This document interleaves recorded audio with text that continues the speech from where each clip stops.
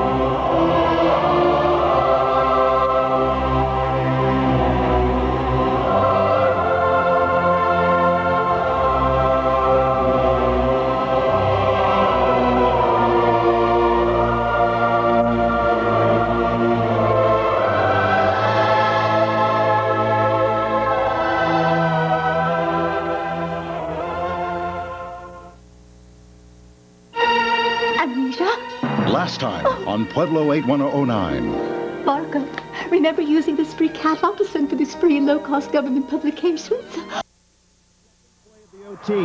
Jeff DeVore goes in, and Burrell had a 14-7 lead. Washington gets the ball, and on their second play, Eugene Woods goes in. It's 14-13, Washington down by one. So it was time for the moment of truth. Washington coach Guy Montecalvo could kick the tie an extra point, or he could roll the dice and go for two and the win. All or nothing for Washington.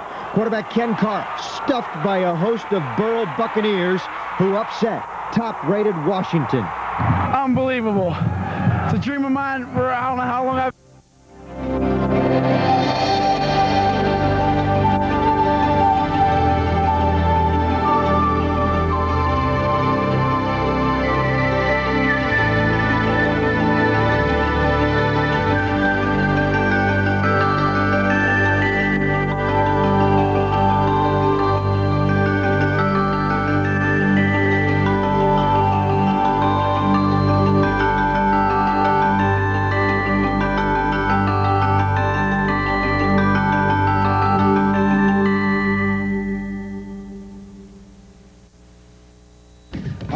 right, who threw the flag for an illegal use of the airwaves here on Prime? Hey, what's your name real quick? Terry Decoy. Jim Hoffman. Robert Alston. Mike Collingwood. Well, you know, these guys take a lot of heat throughout the season, so we thought on the report we'd give them a little credit as we get set to get out of here. Without these guys, forget about the game because they are the ones that are in between the lines each and every Friday night. And don't forget, we're back with more as we now move on to PIAA action, and we'll have semifinal results next week. And now for the hardest working crew on the field at Rhino and Prime, I'm Rob Pratt. We'll see you next week on KBL Prime.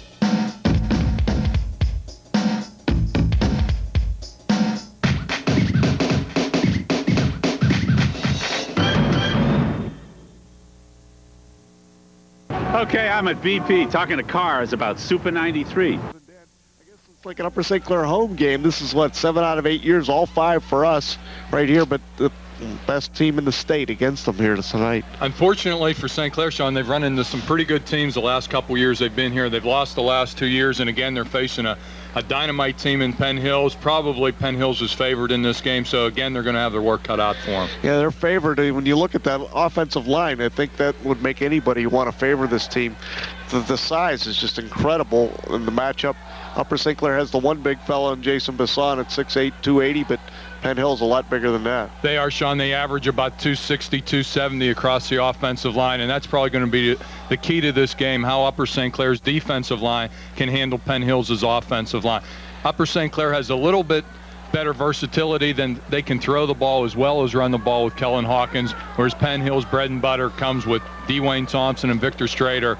Thompson has rushed for 1,300 yards, and Strader has rushed for 1,200 yards this year. So they that's a pretty nice one-two duo they have. Of course, the most notable guys on that Penn, Penn Hills line are Demond Gibson, the uh, left guard, and also the uh, defensive uh, nose tackle who is over 300. What is he? 318 pounds. Exactly. He's headed to Pitt on a scholarship.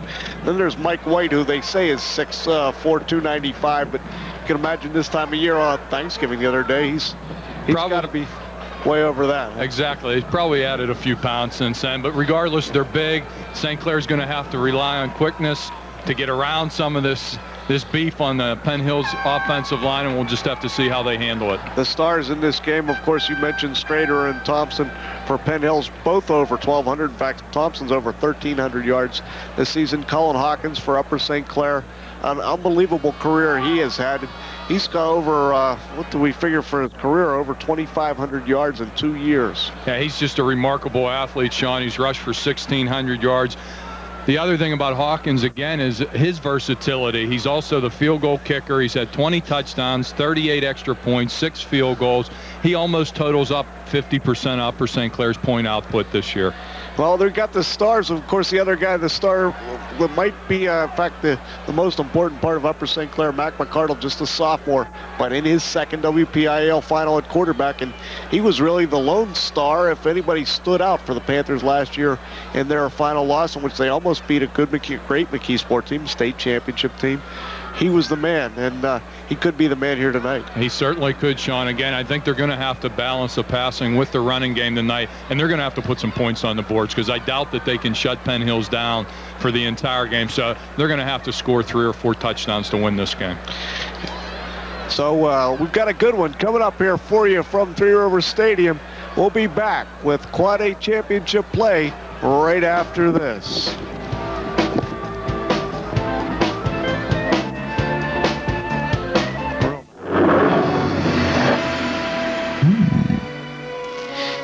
Allegheny General, Duquesne University Sports Medicine Institute. By Gillette, the best a man can get. The Pittsburgh Post-Gazette, the PG makes the day for me. Cameron Coca-Cola, always in the game, always Coca-Cola. And by Adelphia Cable Communications.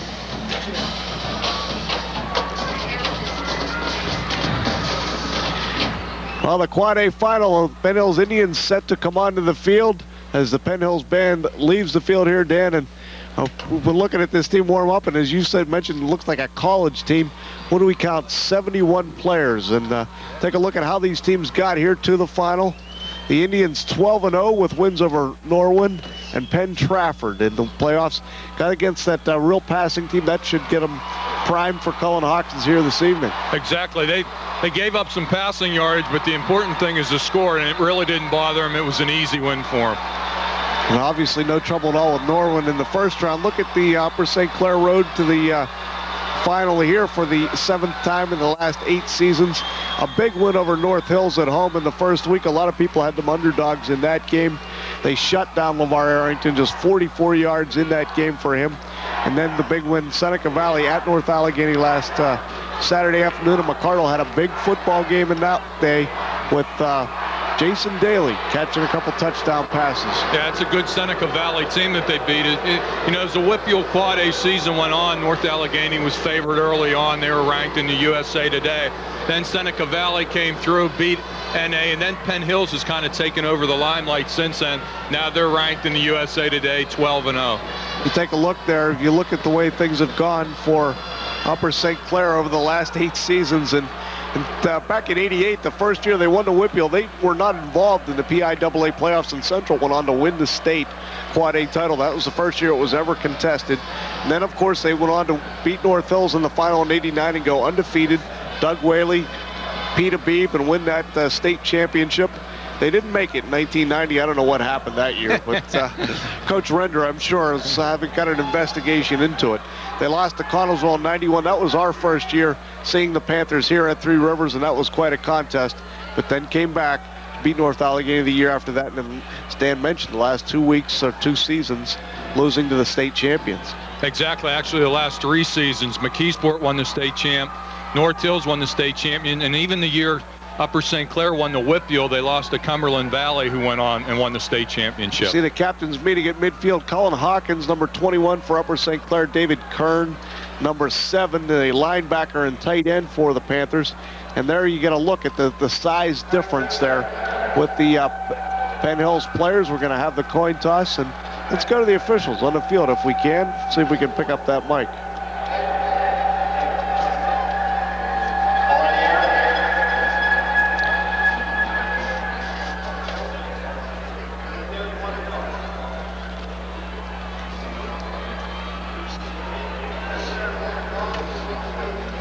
Panthers won the toss and did not, uh, they're going to defer till the second half. The uh, Jeremy George, one of the number 33, one of the captains for Penn Hills, along with number 75, Mike White, number 65, Damon Gibson. Boy, and you get an idea how big White and Gibson are right there at the, at the look at right at White coming off the field. Right, number 28, Garrett Livingston, the inside linebacker, and also the fullback for this Penn Hills team. And Danny's a pretty good runner himself. Yeah, there was a nice article in the Greensburg Trib this morning by Rich Emmert about Livingston and kind of an unsung hero's role, you know, playing fullback and also playing the other inside linebacker position. He's been a real key to this team this year. So it'll be Penn Hills getting the football first. And the Panthers kicking it off here right to left. And that means Cullen Hawkins will be the first man to touch the football in play. And that's been the case all season long for the Upper St. Clair Panthers. What a season he has had. 171 points scored easily, the leading scorer in Western Pennsylvania. 20 touchdowns on the ground. He's had a good year kicking the football with 33 extra points, six field goals. What a season it has been for Colin Hawkins, and kind of fitting that he gets to kick off this championship game. It is. This will be his third year in the WPIAL Finals. Uh, hasn't come out with a win yet, so you know he's looking to end his career with a victory.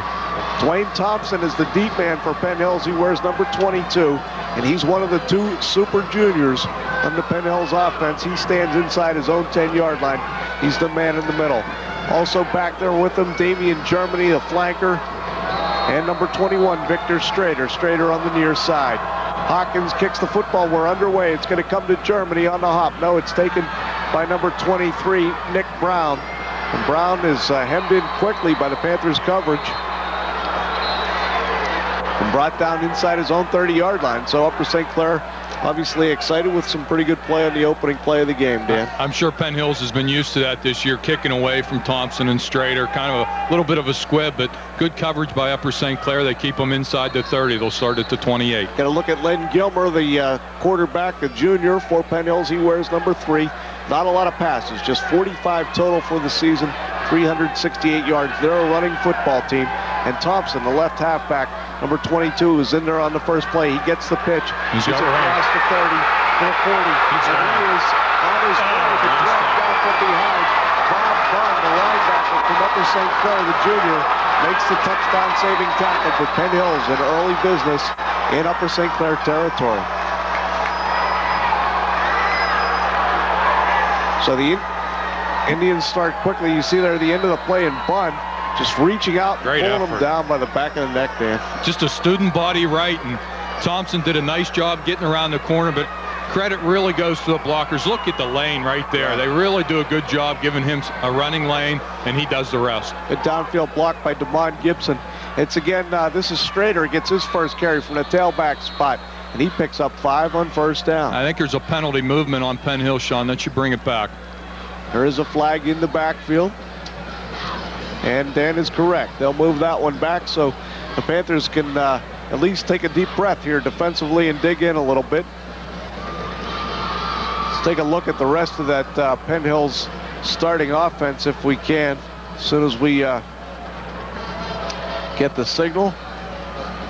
Yep, it's illegal motion against the Indians of Penn Hills. Strader and Thompson are the, the halfbacks for Penn Hills. Strader still in there, number 21. Number 28 is the fullback. That's Garrett Livingston. The pitch to Strader. He'll try the right side. He has room, but he's hemmed in nicely on the near side as uh, number 99, Alex Olshansky, came down the line. Pete Phillips came up to make the first hit for Upper St. Clair, number 11. They're going to continue to run these sweeps, there's going to be a lot of pressure on the St. Clair linebackers and cornerbacks, defensive backfield to come up and make that play. Get a look there at the uh, offensive front. Uh, and as we mentioned, Gibson and White, the big guys for Penn Hills. Dina Natale, the tight end. Second and just about 10 yards. It's Thompson on the carry. He takes the pitch, and the Panthers reacted quickly. He picked up about three or four yards on the play, but was unable to break the long one as he did in the first play offensively. Aaron Coe, number 66, out there, and along with Doug Blinn, number 85 for Upper St. Clair, and of course David Kern, number 7, the ever-present uh, linebacker and defensive captain for Upper St. Clair. St. Clair is seeing a similar type team that they saw last year in the championship game against McKeesport. Not only is Penn Hills big, but they also have great speed as they've shown already in the backfield. Nose tackle for Upper St. Clair is number 77, Justin Bear. And uh, he pushes the line back, and Strader's looking for room. He's in trouble. He's lost four or five, and Nip, Upper St. Clair's going to take him down for a loss. It's Jason Basson, the man to finish him off. Big number 75, along with Bob Bunn. Going to set up fourth and 10, and the Indians going to have to punt the football after what appeared to be a promising start offensively. Well, you see the lead fullback. He just got pushed right back, and that clogged everything up. Let's see if I can get a number on that. By the time he had to reverse his field, St. Clair did a good job on the weak side pursuit. Dave Zakia on to punt the football for Penn Hills.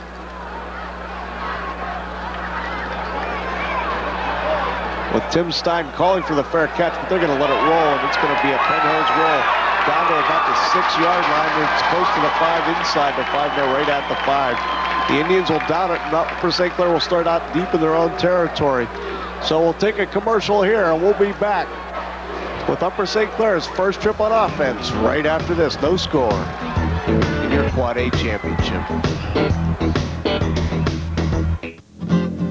I could never. Right at about the 14-yard line. He's going to be a yard short of a first down. Set up third and one. Penn Hills is starting with four down linemen, Sean, but the linebackers are really playing tight. It's almost a six or seven man front.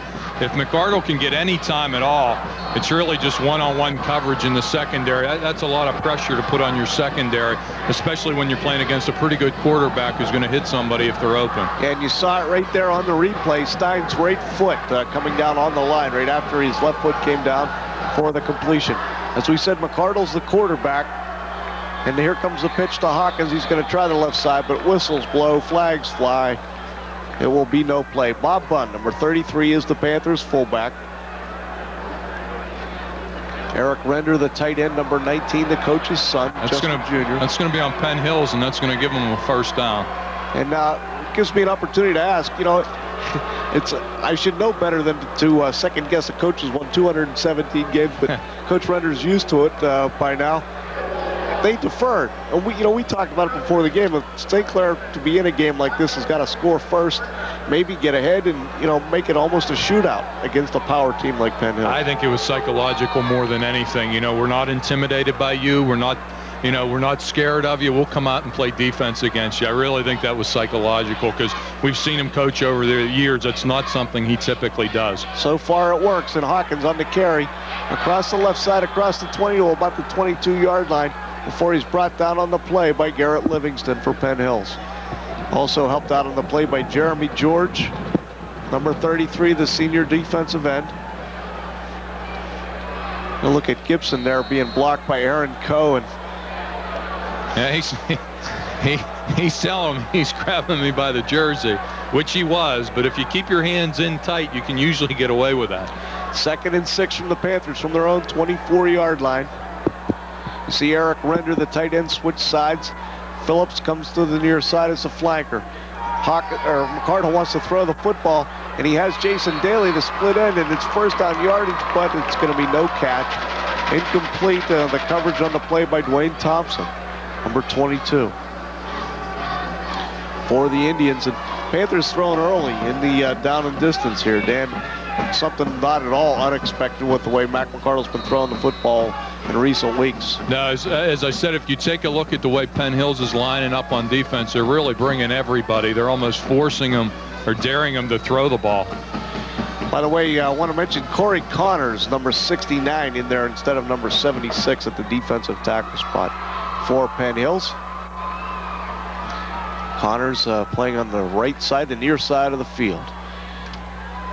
McArdle fakes it to Hawkins, goes down the middle of the field, has a wide open Pete Phillips. Well, not really wide open. The ball a little bit too far as uh, Phillips was being covered on the play by Damian Germany, but he had a step on him, Dan. But it's actually a perfect call, Sean, because there's no free safety for Penn Hills. You'll see him come over late, but he was double teaming the wide receiver on the far side. He gets over there to help out, but the middle of the field is wide open. That's an excellent call.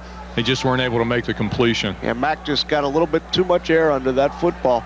And uh, Panthers have to punt it away. That's Mike Junko. And the ball's going to bounce. Uh, Pete Phillips going to down it right about the 48-yard line. Now Penn Hill, so the Indians get good field position here to start things off for the second time.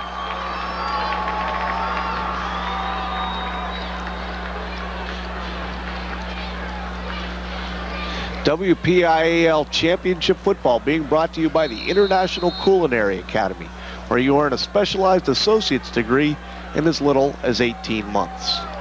First and 10, Penn Hills Indians on their own 49-yard line. We'll call it just outside. They're inside the 49.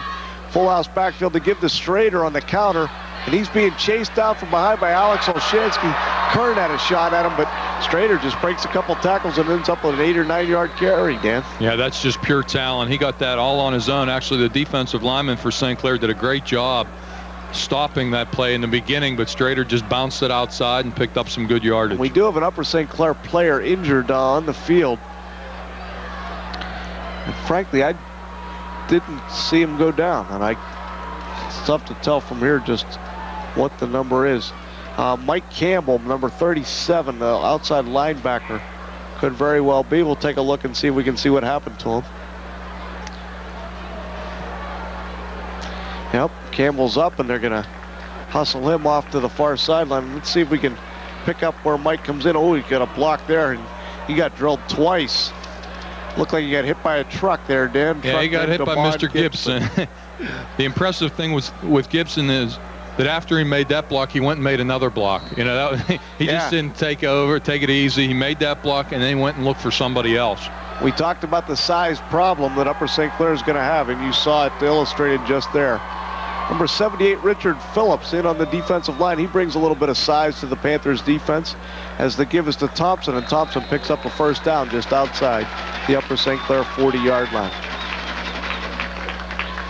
So on third and short, uh, Coach Render, or second and short, uh, went to the beefier front line, but they couldn't uh, keep Penn Hills from picking up the first down. As you see Greg Corzin head to the uh, Panthers sideline. Constant shuffling on that Upper St. Clair defense, and you'll see a lot of that all night long as you get a look at uh, Thompson, just 5'9", 170, but runs a lot bigger. This is Strader from his halfback spot nice in the power eye set.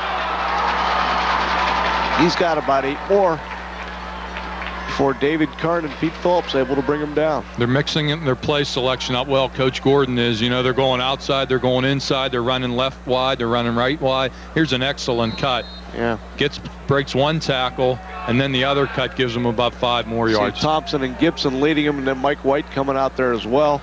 Second and short, second and about two. This is Thompson. Great inside move, and he cut and almost broke that one for the score. Pete Phillips able to bring him down though on that play also with some help from uh, big number 76, so 78, Richard Phillips. Sean, you'll notice Penn Hills is trying to speed up their offense. They feel they have them backpedaling, yeah. and they're just getting the play in in a hurry and coming right back at them. A power eye set there, and there it goes. It's Thompson with the little counter play, and he's picking up five more. Panthers defense having a lot of trouble digging in here against that big, powerful Penn Hills front. Yeah, I can, I'm watching the Penn Hill sideline. Coach Gordon is just circling his arm saying, let's go, keep moving. You know, speed things up. We got them backpedaling. Let's keep coming at them. If St. Clair isn't able to stop Penn Hills running between the tackles, they're going to have a long night. Second and four. First and 10. First and goal. Inside the 10. Dwayne Thompson on the carry. And they're rolling them up. Yeah, well, now's when you go back outside. You've run inside the last two or three times. You've gotten good yardage. Maybe you fake to your fullback and kick it to the outside. Now mark it just outside the eight-yard line.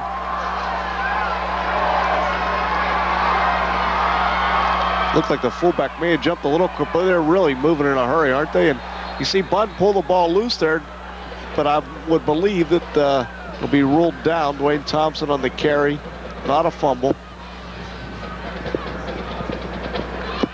It's a gain instead to the six-yard line where it'll be second and goal for Penn Hills. And Thompson and Strader both coming out? No, that's Thompson and uh, number 28, Garrett Livingston, both coming out.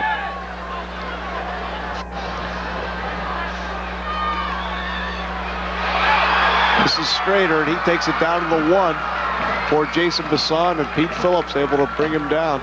Hearing a lot of Pete Phillips' name already, and as a quarterback, that's not a good sign. That's not what you want to hear, and if you were wondering why Penn Hill's quarterback Len Gilmer's only thrown the ball 45 times this year, now you see why. When you can run the ball like this, there's really no need.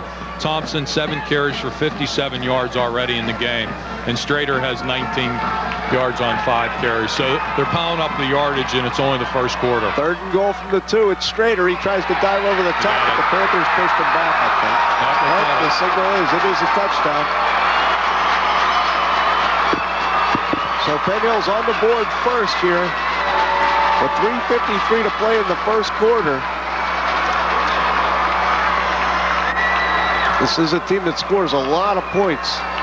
28 points per game they average. And they're right on schedule.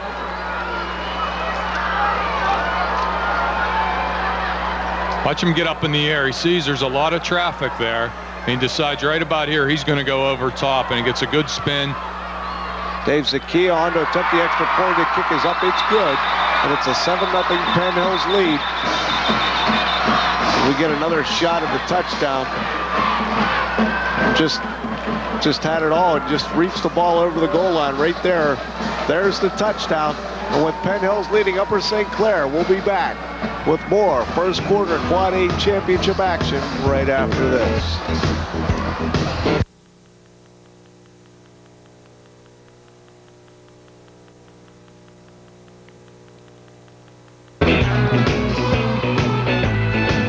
WPIAL Championship Football is being brought to you by Computer Tech. Prepare for your career in the computer industry at Computer Tech, where you earn a specialized associate degree in just 18 months. Well, Dave Zakia will kick it off here, and the Panthers will get to run one back for the first time here tonight. Then they had an opportunity to do it. We questioned it, but it seemed to work out the, the way the Panthers had wanted early on. They got the ball, just couldn't move it downfield, and Penn Hills just an awesome offensive display as Zakia's kick goes out of bounds. That'll give Upper St. Clair the ball on, where, on the 35? No, they penalize them. That's a penalty. That's correct. I believe in high school it's to the 40. I might be wrong. Maybe it's the 35. Let's see here. We'll see what the official says. Sean, the big key with, you know, deferring on the kickoff for Upper St. Clair was that the defense wasn't able to keep Penn Hills down in their own end of the field. A lot of times you do that for field possession. As you recall, Penn Hills' first possession, they broke off that long run, and all of a sudden the field possession is different. Penn Hills had the punt. St. Clair has the ball in their own end. Right. They get off a short kick. That second possession for Penn Hills, they started at the 50. They were playing on a short field. Well, that uh, bad kick by Zakia gives the Panthers first and 10 at their own 35 and good field position for Mac McCardle. You see Render switching sides and along with Tim Stein, the flanker on the far side. Jason Daly split to the near side, but it's Hawkins, the tailback, and he just got about a yard over the left side for Upper St. Clair. Number 89, the man of the hour, Ron Graham, just a junior, inside linebacker for Penn Hills, made the play, and he is really something. Well, again, Penn Hills is really selling out on the run. I, they, I think St. Clair needs to go back down the middle of the field, maybe using their tight end or trying to slide Cullen, Cullen Hawkins out in the flat or down the middle of the field because they're really coming. There's nobody in the middle of the field in the secondary. Split backs, Upper St. Clair. You see the, uh, you saw the graphic. 40 yards last week for Hawkins against Seneca Valley. Well, Mac McCardle took that game over with his arm, and here he is, maybe to throw it. No, he's going to tuck it and run, and he picks up about fumble. eight yards, loses it on the fumble. We've got a loose ball in the middle of the field. And it looks like Penn Hills is in the best position to recover but we'll have to see after they unpile that mess. Yeah, it they do Penn have Hills it. Football. There is a flag down, but I think it's a holding because it's in the backfield of Upper St. Clair. We'll have to take a look at it. On the rollout by McCardle, they threw the flag. I'd have to guess that's a holding penalty. So the play will stand. One would think. And it is. Yep. First down. So the Indians get a break here with 2.57 to play in the first quarter, leading 7-0. You see, here's McCardle. And it looked like a pretty good decision. He got outside. He had to, was being pressured from the back. and It was a real good decision. He just didn't hold on to the ball. There it is, the backside hit. You see it happen so often. You're not expecting that. And I believe that was 89 Ron Graham who knocked it loose. But it was a good run by McCardle. He almost picked up the first down, but unfortunately, great pursuit by Penn Hills, and they stripped the ball, and they're back in business. Pickup of about seven yards on first down. It's second and three for the Indians. Just outside the upper St. Clair 41 yard line. See Graham go in motion, throw that block off tackle, and he just run Thompson right up in there behind him, and he's close to a first down.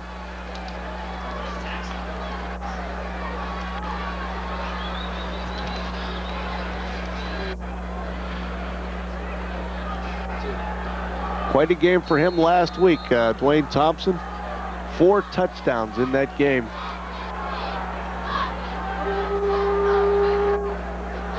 Now he's on a pace for 175 yards in this game. Yep. He had 175 in that one, and there's a run up the middle by uh, Thompson again. He's got the first down and down near the 30-yard line as they're just moving it through this Upper St. Clair defense. And the question, you know, this if they're doing it this early, this this easy, this early, and the concern for Upper St. Clair, as I mentioned earlier, Sean, is they're doing it between the tackles. And with their speed, if they're able to go inside, sooner or later, they're going to, you know, go student body right again or kick it to the outside. They have to be able to shut them down between the tackles and dictate the kind of plays they run. Thompson will try the left side, and the Panthers stacked him up. Uh, Doug Blinn in there to help make the play. Not the first man there. The first man, I believe, is Cullen Hawkins. You'll see 21 come from the bottom of that pile. Aaron Coe kind of held his ground from the tackle spot. But Hawkins comes from his linebacker spot or his corner spot on the right side and got the first there hit on Strader. Sets up second and a long eight for Penn Hills.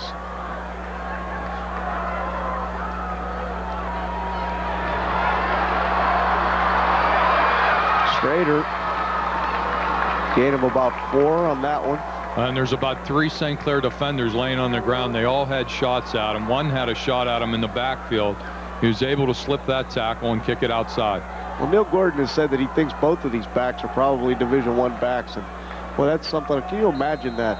And they're in the same class. It's not like one's a junior or a senior. Exactly. I'll have both these guys again next year, and they sure look like it, don't they? They sure do. So far, anyhow, he carries, 32 yards for Victor Strader. Strader and Thompson both in there. Strader on the halfback on the near side. And there's Thompson on the carry. Close to first down yardage, but stacked up. David Kern made a good hit on him there. I think he's going to be about a yard short. Along with Alex Olshansky for the Panther defense, and they did hold him short. It's going to be fourth and one here for the Indians. Upper St. Clair held them once on fourth down. So already our first big play, the last play of the first quarter. St. Clair needs to change the momentum around. This is where they do it. Clock under 30 seconds here, as you see in the top left of your screen. They give us to the tailback, and he's got the first down Strader easily. He's down to about the 15-yard line to set up uh, shop and may or may not be. Uh, see, as they move the sticks, we're down to 14 seconds. Going a look there at uh, head coach Jim Render, and obviously not pleased with the development so far, but as we mentioned early on, just getting this team back here again. And uh, it's one of, one of the big problems that we talked about. Look at those, the record in eight years at Upper St. Clair. 91-12 and a 1. But uh, that is the end of the first quarter of play here at Three River Stadium. Sean Doherty, Dan Donahoe bringing you the WPIAL Quad A Championship here on Prime Sports. It's 7-0 Penn Hills.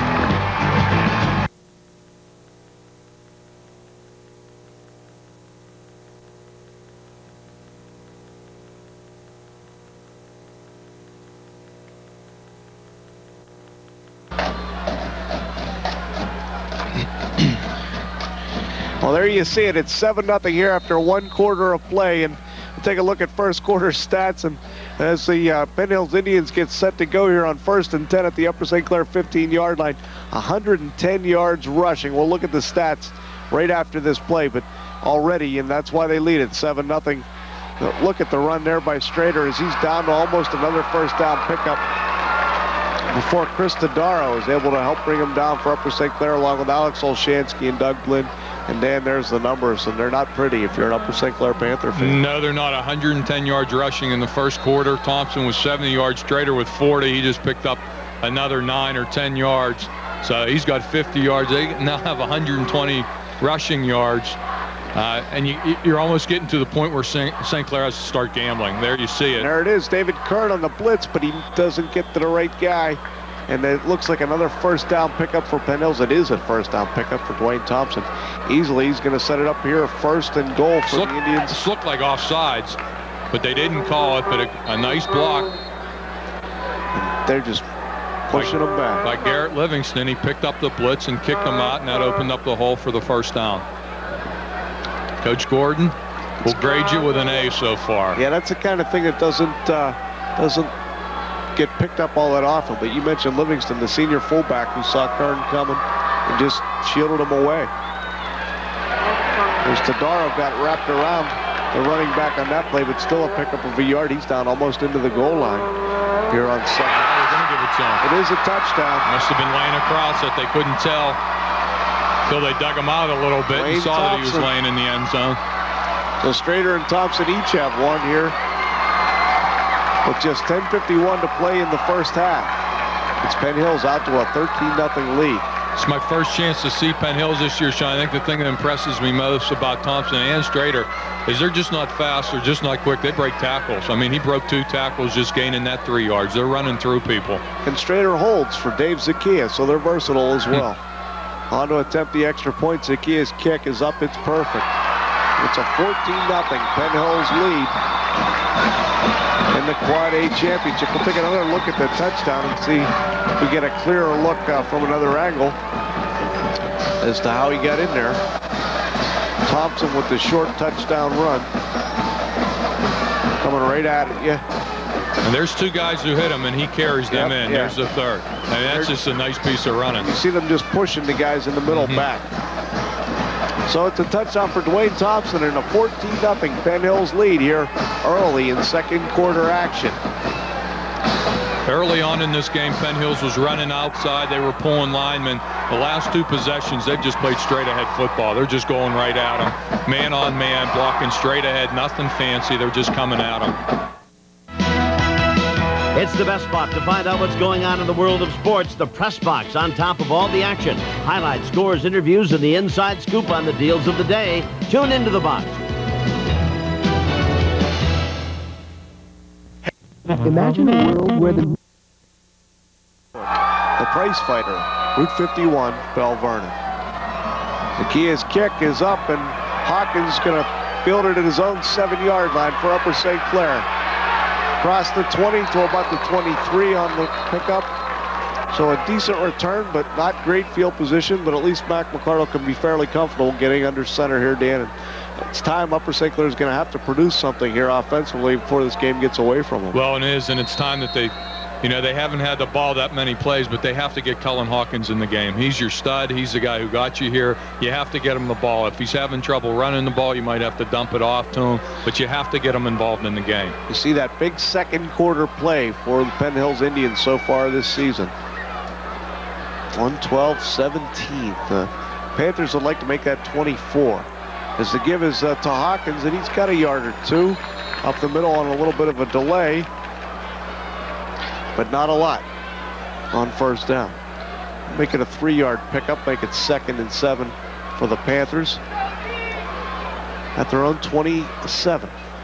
We, I have had the opportunity of seeing Hawkins play before. He is much, he is an excellent runner if he gets past the line of scrimmage. If you get a hit on him around the line of scrimmage, you can slow him down. But once he gets into the open field, he's a dangerous runner. So Penn Hills has to hit him early. McCardle has Stein split to the near side and Jason Daly to the top of the screen, and he wants to throw the football.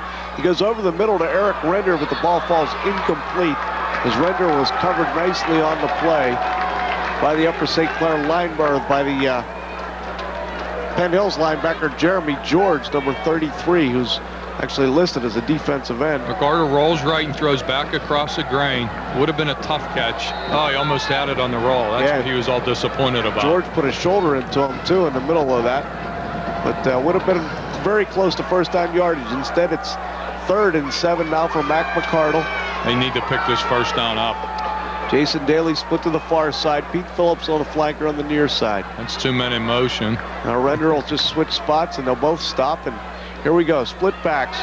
McCardle rolling to his right, can throw on the run. Has Pete Phillips picked the ball thrown too far inside. The ball was almost picked off by number 40 for uh, Penn Hills, and that's Don Shakia.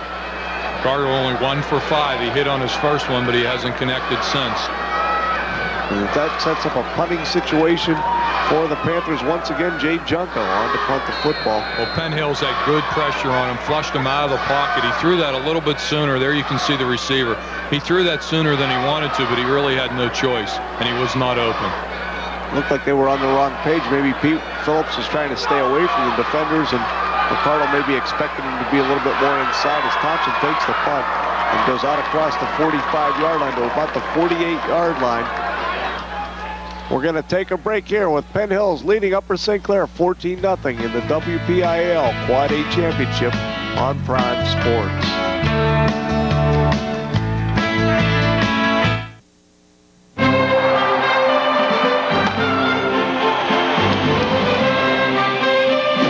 It was a glorious decade. Brooklyn wins and the Dodgers go wild. A glamorous decade. And in the center of it all, the Oklahoma kid, Mickey Mantle. Now, in Ken Burns' highly acclaimed home video, The Capital of Baseball, look back at the greatest decade in baseball history. Call the phone number on your screen now to relive the memorable moments of the legendary Mickey Mantle and your favorite greats, Casey Stengel, Yogi Berra, Jackie Robinson, Willie Mays, Ted Williams, and many more. Only $19.95 plus shipping and handling. Call now and ask how you can receive this handsome illustrated book valued at $60 absolutely free.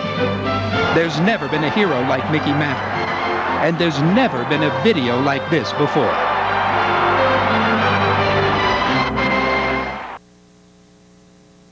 Indians band celebrating. They lead at 14-0. The Quad A final over the Upper St. Clair Panthers. And Panther defense, Dan, I don't know if we had some adjustments there, but Victor Strader stacked up on first down. Penn Hills has been averaging about six yards per play.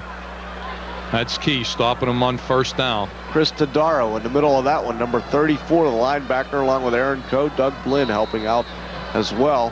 Tadaro goes out of the lineup as Upper St. Clair switches things around a little bit. We've got Matt Ellis, number 42, in there, maybe a bit of more of a cover man, but heck, Hills doesn't throw, so that's not the idea. Ellis at the linebacker spot on the near side. He's actually playing, I guess, on the corner.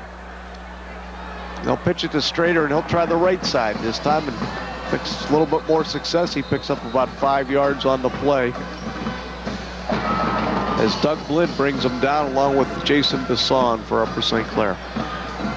Earlier in the Class A championship, it was Farrell beating Monessen 30 to 14, making our producer Joe Magnu and his friends very happy. Of course, uh, Burrell beating Wash High in the uh, Double A final in overtime. What a great game that was. And then, of course, Belle Vernon winning their first WPIAL championship over Franklin Regional in the AAA championship. And to give us to Thompson on the pitch and Upper St. Clair defended that nicely. He's going to set up a punting situation here for Penn Hills. Is uh, number 45 for the Panthers up to make the play. Andy Takacs from his linebacker spot. He did. You can see him. He slips through here. And he's the one who slows him down, and he gets some help from number, who was that? I didn't Matt see Ellis, that. I from Matt 42. Ellis. So that was a great defensive stop, much needed for Upper St. Clair. There's a lot of time left in this game. This game is by no means over. The Penn Hills has dominated it early. Stein and Hawkins deep to ret return Dave Zakia's punt. Zakia standing at his own 39. He'll punt it from about the 42. And it's off the side of his foot. Pete Phillips almost got hit by it, and then he falls on it. Now Upper St. Clair will take over at their own 24. A little scary uh, play there for Pete Phillips. I didn't see that ball coming down. You pretty much see this throughout today. These teams aren't really used to playing on AstroTurf, and, and it's a lot different fielding a punt on AstroTurf. One, you shouldn't let the ball bounce if you can avoid it. And two, you always got to be careful because you never do know where it's going to bounce. Well, the other thing that might come out just uh, real quickly here, Zakia punting the football. It was, a, it was an ugly punt off the side of his foot. My guess is he hasn't had much chance to punt the football this season. exactly. Jason Daly split to the near side. Tim Stein to the far side. Render switches the tight end spot for Upper St. Clair McCardle. First and 10. Panthers their own 25. Option. Loose ball. McCardle gets it. Hawkins couldn't find it. And McCardle did get it back. Number 85 for Penn Hills was there. B.J. DiNatale from his uh, defensive end spot. Almost uh, had the recovery. They actually had this set up pretty nice. There's the inside fake to the fullback. He, you can see if Hawkins had the ball, he had some room around the end. McCardle did a good job getting back on the ball. But it's going to put him in a hole at second and 15. Yeah, loss of five on the play from McCardle. He'll send Jason Daly to the far side of the field. Daly, a guy who almost didn't play football at Upper St. Clair this season, their leading receiver, has had a great year. The fake draw, and McCardle is in big trouble. Just uh, yeah, they're going to call that an incomplete pass. And that's a correct call. His arm was going forward. That's what I was trying to say when my tongue went down the back of my throat there. I was pull it back out. Yeah, let's go. We got it. That's going to set up third and 15 for the Panthers. This incredible pressure there by the Penn Hills defensive line.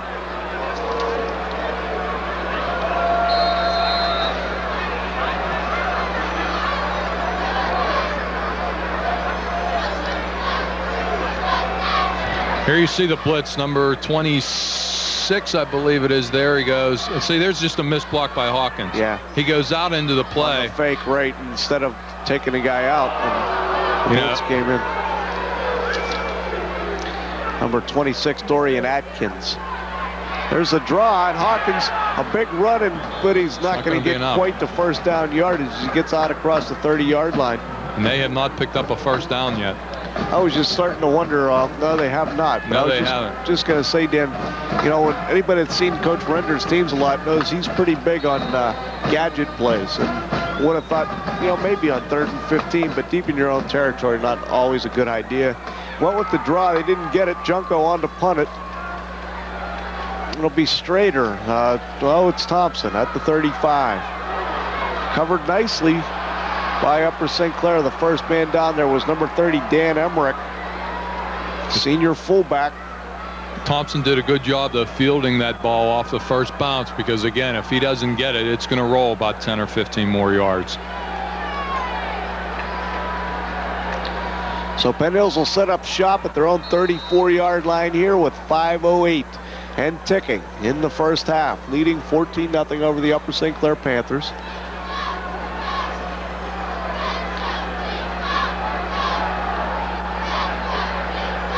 Junior quarterback Len Gilmer. The pitch is to, to Thompson. It's real easy to know who gets the ball. It's either Thompson or Strader. Take your pick. You got a 50-50 shot. Occasionally, it's Garrett Livingston, the fullback. We have another injured Upper St. Clair Panther as the uh, Penn Hills trainers quickly out onto the field. And here come the Upper St. Clair trainers across to look at him. And it's the big fellow, Jason Bassan, I believe. No, it's not Jason. Because I see him standing at, uh, oh, we'll have to wait and see.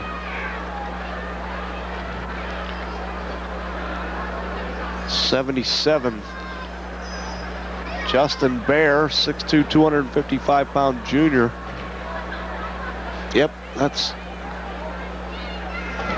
Let's see if we can take a look here. On the left side of your screen here. There he is, right behind Hawkins. Yeah, Hawkins and Kern and Big Penn Hills player, they all kind of converge. His right foot kind of rolled underneath him there. This doesn't look good for Justin Bear, at least for the rest of this football game. I, you know, as quickly as those Penn Hills trainers came off the bench, you knew it was something fairly obvious. And unfortunately, you can see there Justin's in a little bit of pain. More than a little bit, I would guess. Yeah, I think you're right. He's had a fine season for Upper St. Clair. And his left guard spot, that's going to, you know, we talk about the having trouble keeping out that up Penn Hills pressure. Now they lose left guard, starting left guard, and a big fella. It's a left uh, ankle or left foot there, as you see, being carried off. That's a tough loss for the Panthers. Probably will mean that uh, somebody else will just have to go two ways. My guess, we'll check that out when the Panthers get it back offensively.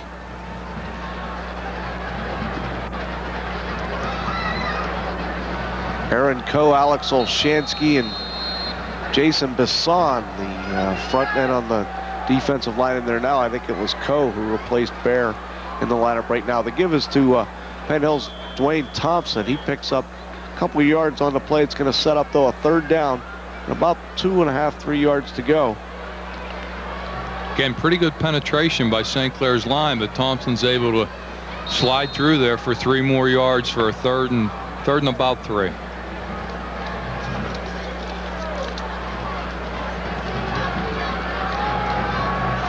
Approaching four minutes to play here in the first half.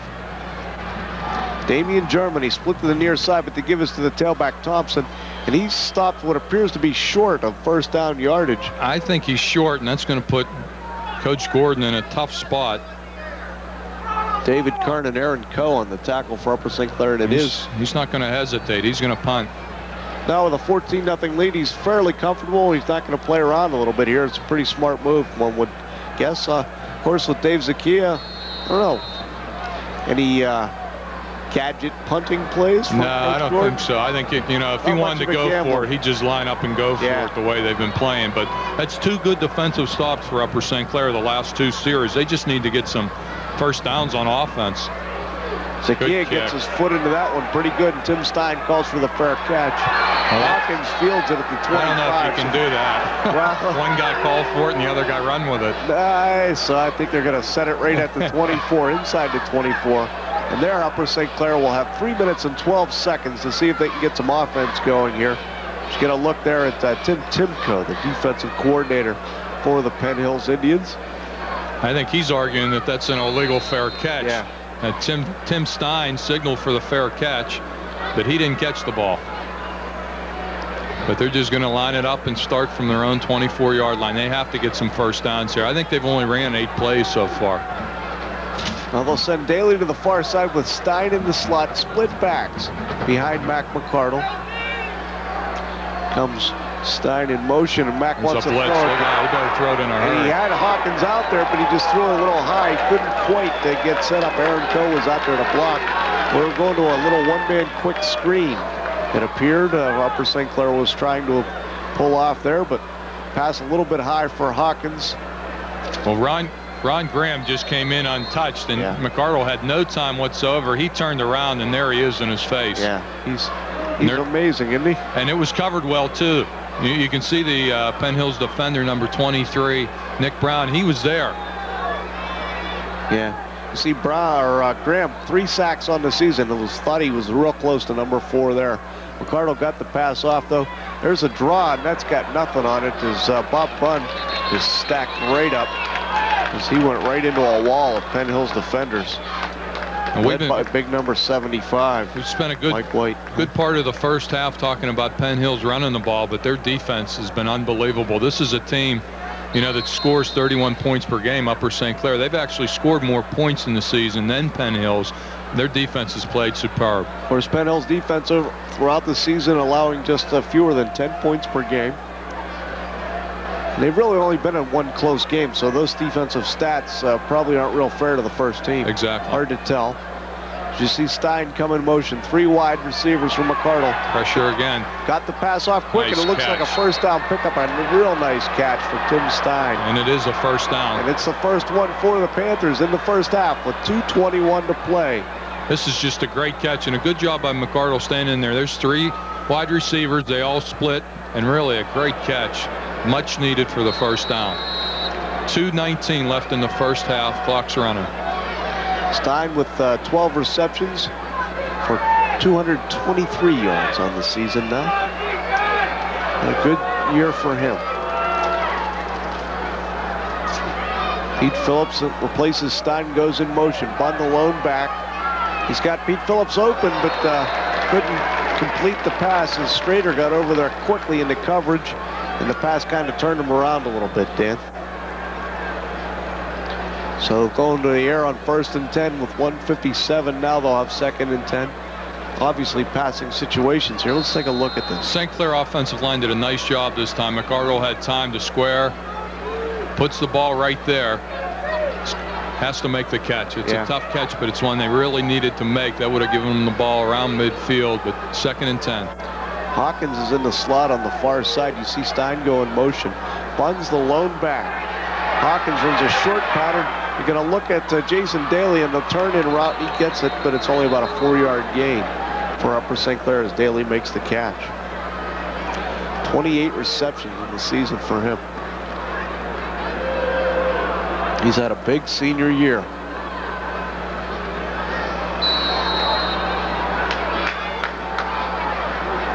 Clock continues to run at 1:30.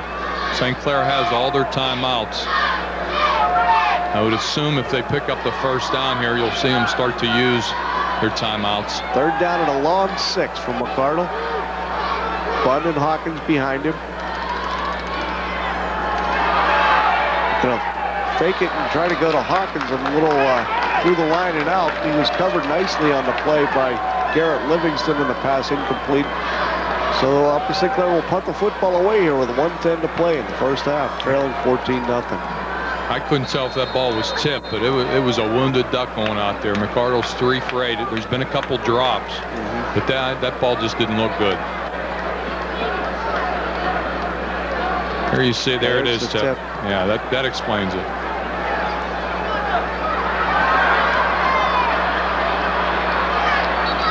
Ball punted that time by David Nicholas.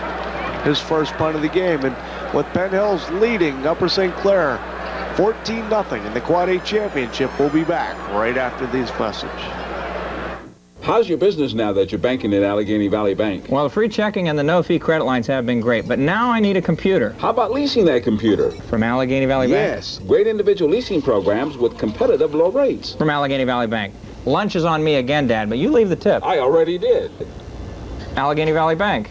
Whether you're starting a new business or expanding a current one, consider leasing from Allegheny Valley Bank, where small business is our business. Allegheny Valley Bank. Okay, I'm out on the road talking to uh, cars about BP Super 93. How do you feel with the Super 93? I feel very, very good. Uh, it just goes through the intakes, and it just seems to make me run better throughout the day. One day I made the mistake of getting a different gas. We won't mention it. Yeah. And not only did I chug, but I went right back to BP. Well, there you have it. Nine out of 10 cars, when asked, recommend BP Super 93. BP on the move. I've used 93 since birth. Uh-huh.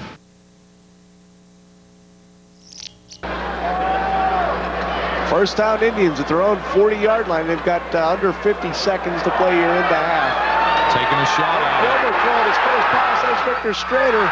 It's coming back. Ellis in the covers. There is a flag in the backfield of uh, Penn Hills. And Gilmer's first pass complete all the way down to the 20-yard line. Well, don't get too excited because there's a flag down and what it's would, coming back. What would be a 39-yard pickup is going to come back, as Dan says. And, yep, that is the signal. It's a hold against the uh, Penn Hills Indians. I really like the call by Coach Gordon, though. Minute left on the clock. Why not take a shot? You know, put your speed guys on the outside and just throw it up. Gilmer threw a beautiful pass. He hit him right on the numbers. See Ron Graham down there hugging one of the offensive linemen. And that's uh, number 75, Mike White. One might guess, let's see if we can find Mike White in this replay. There's the hold. You can see it. He tackles him. Yep. I mean, that was a good call. And Ron's saying, listen, don't worry about it, Mike. We're up 14. Nice catch by Just keep blocking, Strader. big fella. But this uh, makes it real tough. First and 27 for the Indians, and they're going to go back to the ground. Olshansky with the hit, but uh, not the right man. It's Colin Hawkins what made the, what looked like a touchdown-saving tackle on Dwayne Thompson. He picked up uh, 17. Set up third and 10. Penn Hill's going to call timeout. 34 seconds to play in the half. Why not? Well, they, you know, they feel they dominated this first half, but they're only up 14 nothing. That's certainly not insurmountable. Again, St. Clair starts the second half with the ball. I think Coach Gordon would really like to tack another one on here. He just kind of slid that in there. Boom. There you see him. He was not touched until he was well into the secondary. Now they put a big hit on Garrett Livingston instead of Thompson. He picks up uh, the first, not the first down, but he picks up the 17 they lost on the penalty. WPIAL Championship Football is being brought to you by Vinyl Windows, committed to Pittsburgh for three generations.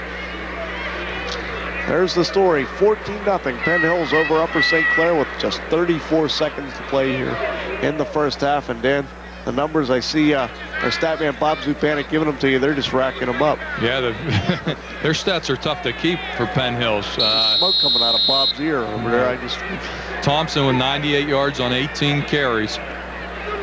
Wow.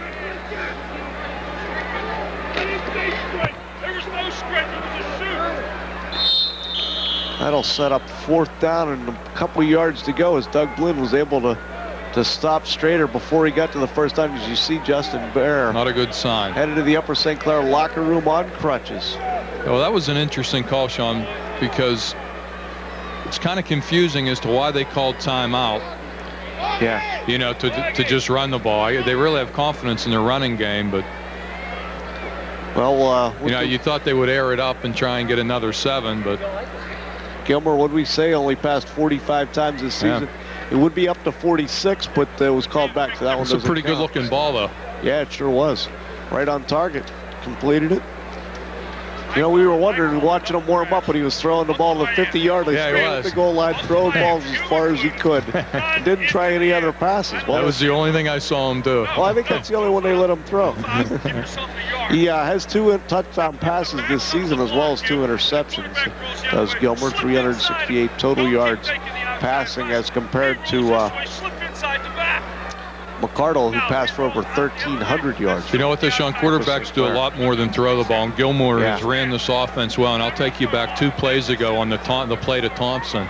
You know, just the play fake, carrying out the counter Absolutely. fake. No one knew Thompson had the ball, right. and you got to credit Gilmer with that. He's running those fakes, just like McKeesport last year, and their quarterback did a good job with play action. Gilmer wants fake. to throw it on third and three, and it's in and out of the hands of Garrett Livingston. Well, now I think if you're St. Clair, they're forced to punt the ball. This is, you Go might want to take a shot at this one and just send everybody. Question is, with the line as big as Penn Hills, can you get a shot? He might not be able to, but I mean, you yeah. might as well. There's only 23 seconds left in the half. Yeah, Gilmer had his man, threw it a little bit behind him, turned him around. Livingston was looking right in the face of David Kernan, thought, eh, better off catching it maybe not thought better of it, but he didn't catch it. St. Clair has two guys back, so they, they don't really look like they're coming after it. Stein and Hawkins, but uh, they didn't get too close to it. Zakia gets it away. It'll be Stein at the 22. Looking for room, has a little bit. He's got around one man. He's going to go out of bounds about the 30-yard line and stop the clock with 13 seconds to play here in the first half. The question now is, does Coach Render put it up a few times or just take it to the locker room? I it's think, only down two touchdowns. Yeah, I think you put it up. Again, starting the second half with a ball is a big factor. You know, yeah, they're going to get the ball. They're only down two touchdowns. Don't waste any possessions. When you're down two touchdowns, you might as well use them. Well, we'll see what uh, Coach Render feels. Here comes McCardle into the huddle late with the play, so one would think they're going to try something, at least one play anyhow. Junior center Rick Prosco out over the football. Daly split to the far side.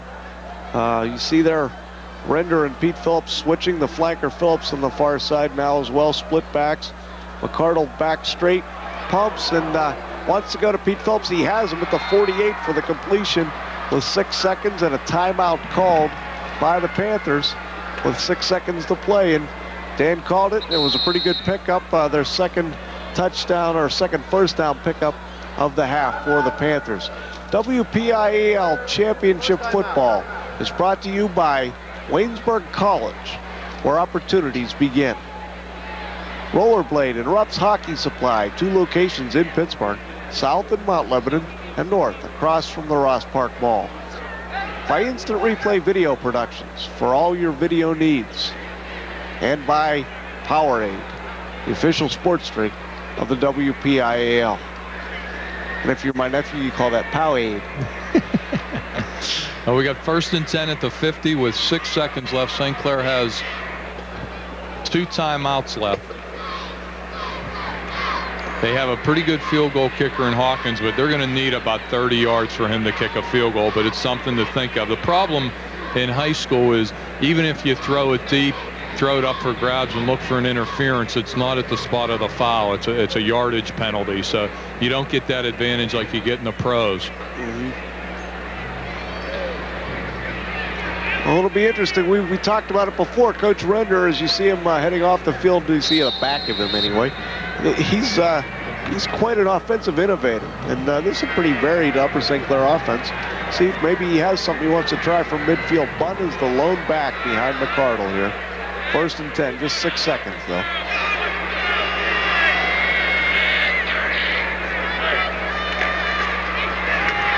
Stein streaking down this side. McCardle's going to tuck it in. He's got a couple guys open.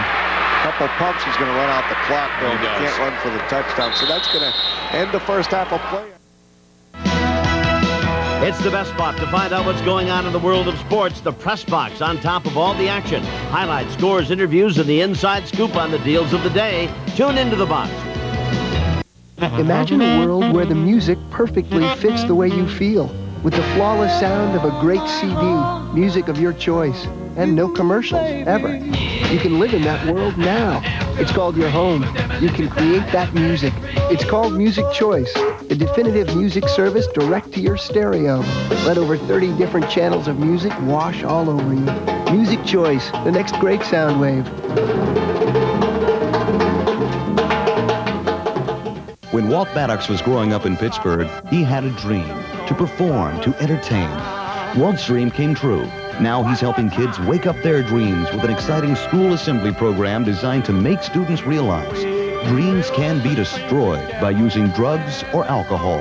Thanks to the Pittsburgh Automobile Trade Association and area car dealers, Walt's program will continue to reach and influence thousands of kids this year. Today's car dealers are doing more than selling cars. They're involved. Dealer today. We'll see if the Panthers can get it going here in the second half. Zakia to kick it off for Penn Hills. And how about that? Mike White at 295 pounds is on the kickoff team for Penn Hills. He runs right down the middle of the field, and he moved well. It's uh, Daly who finds room, and he's across the 35 to 40 and 45-yard line. A nice return. Upper St. Clair in business at their own 46, Dan. And that's a positive start for Coach Render's Panthers. That's a real positive stop. And great job of blocking, too. That created a nice little seam for him up the middle. Then he saw some daylight on the outside, showed some good speed. Here it is again. You see, they tried to break the wedge up, but he made a nice cut here, and there's the lane. And then he sees it outside, and he has good speed, switches the ball over correctly, gets around the corner, and picks up about 15 more yards. That's a good start to the second half for St. Clair. A nice block by Cullen Hawkins, the middleman on the return. So Mac McCardle with split backs behind him, first and 10. We'll see what the Panthers offense has in store. Start the second half. It's Hawkins on the pitch for the first time tonight out of that split backfield position. He's wrapped up by Jeremy George quickly and just barely got back to the line of scrimmage before they blew it dead.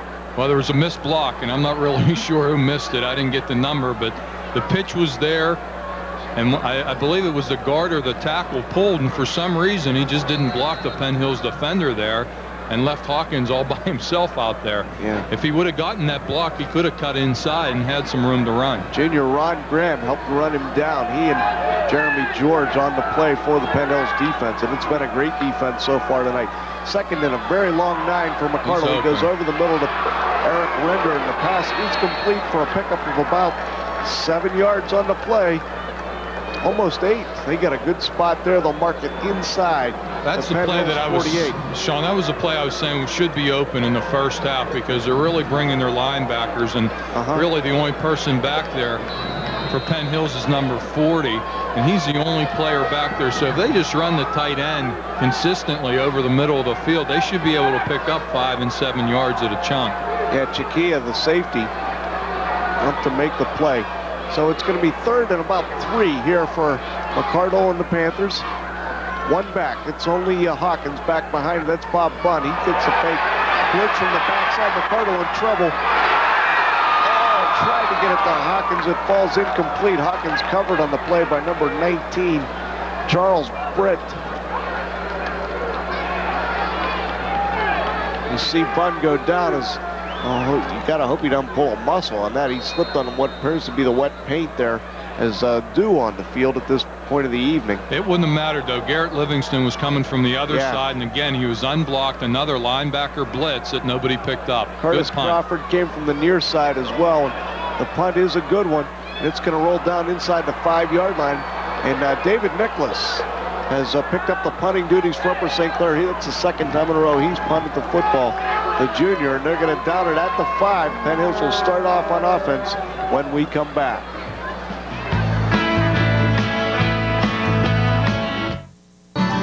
Hi, this is Rod Woodson of the Pittsburgh Steelers, and you're watching Prime Sports, KBL.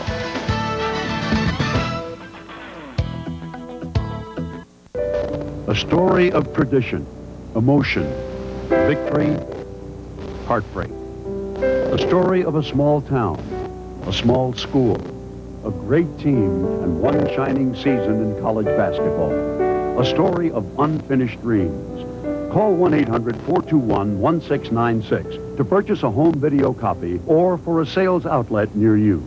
Unfinished Dreams, the 1969-70 St. Bonaventure basketball season. This holiday, they say alcohol-related crashes will kill and injure hundreds of people. Let's disappoint them. Designate a driver. About 90 years ago, we added something to this that made it absolute. First and 10 at their own five. Panthers in need of a defensive stop here, but the give on the, is to the fullback on the first play. Now that's the tailback, Dwayne Thompson, on the carry, and he's busted out across the 10-yard line for a good uh, eight-yard pickup, and it's going to set up second and short, Dan. It was an opportunity here for Upper St. Clair to stop and pick up some field position.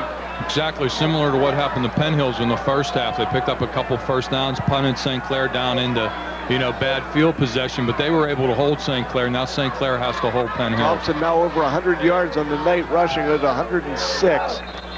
As uh, the first down is picked up.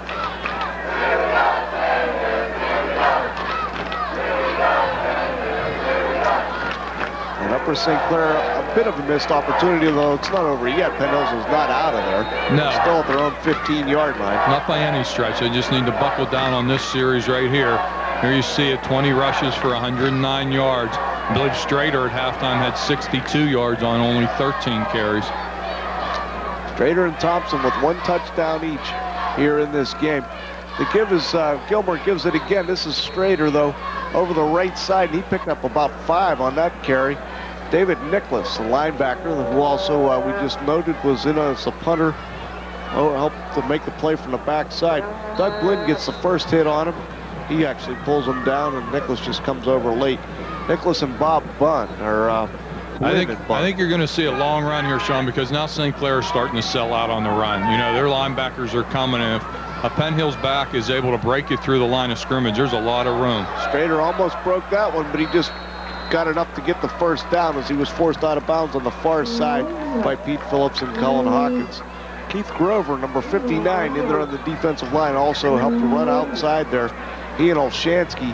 There's more speed on the uh, Panthers defensive line. They're trying some different tactics here. I think, uh, of course, they did lose a player in the first half in Justin Bear, but it looks like a little less size a little more speed. See how that'll work against this big uh, Penn Hills offensive front. Strader now up to 73 yards for the game. They still do have big Jason Bassan in there, but Grover and Olshansky, the men in the middle for Upper St. Clair's. They try the middle once again, does Penn Hills. And it's uh, the fullback this time. This really has to be frustrating for Coach Render Yeah. because now they're bringing everybody. The backers are coming, and Penn Hills is still picking up yardage. Garrett Livingston got three on that one. That'll set up second and seven at their own 31-yard line for the Indians. Looking for their first WPIAL championship since 1979. Quarterback keeps it. Gilmer around the end, and he can run the football. He fact, picks he's, up. he's run for almost as much yardage as he has thrown. That's his 45th carry of the season. He's over 130 yards game. He's close to a first down. They're going to measure. You see Gibson just straight on blocking. That time he missed his guy, but the play was going the other way. Really going away from him. He didn't play much of a part in that, that play. Let's see as they bring the sticks out whether or not he made the first down here.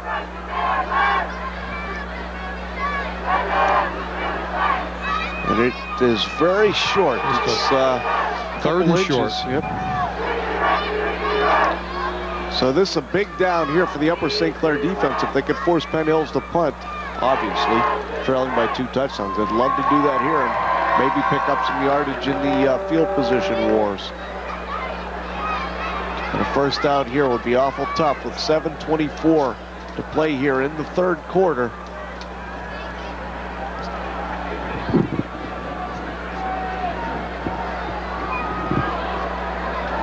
Penn Hill's two for seven on third down attempts. They haven't had many third down attempts. They've been picking up first downs on, yeah. on first and second. Upper St. Clair with everybody up at the line, and they'll go over the right side. Penn Hill's will and get the first down.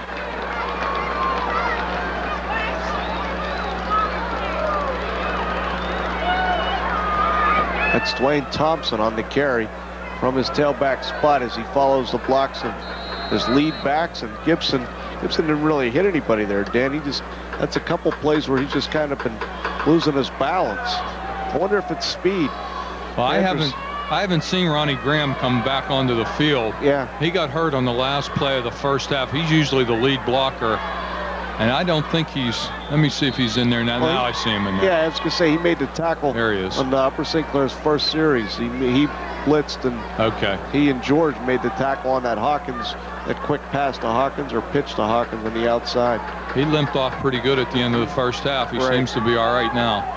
Pick up there of about three yards. That'll set up second and seven for Penn Hills at their own 42-yard line. Clock turning under six and a half minutes to play third quarter. Damian Germany split to the far side of the field, but kind of inconsequential with the way Penn Hills runs the football. As Andy Takacs up to make the play there with some help from Matt Ellis. Again, uh, they made a couple big plays late in the first half, and number 42 and 45, or 45 and 42, Takacs is 45. 5'10", 170-pound senior. But if you're Thompson and Strader, you'd much rather go one-on-one with a cornerback or a safety rather than Right. a linebacker or defensive tackle. Matt Ellis playing the corner on the near side, and uh, Takacs the outside linebacker down here. Third and six for the Indians option pitch. And there's a loose There's a football. break Bob right Martin has it. And Dan, that could be the break that Coach Render and the Upper St. Clair Panthers have been looking for. Well, that's a big break. It's kind of strange to see him run the option. I don't recall them running that at all so far. But here you see it. Gilmer's pitch is a little bit behind Thompson. He couldn't handle it. It, it wasn't a good pitch, but it could have been handled. And again, the ball, once it hits the turf, you never know where it's going to go, and it bounced into the St. Clair's defender's hands. And now they got a good opportunity to close the gap. So up Upper St. Clair first and 10 at the Penn Hills 35. Tim Stein in motion. McCardle on the counter play to Hawkins. He faked it. He's going to throw it to back.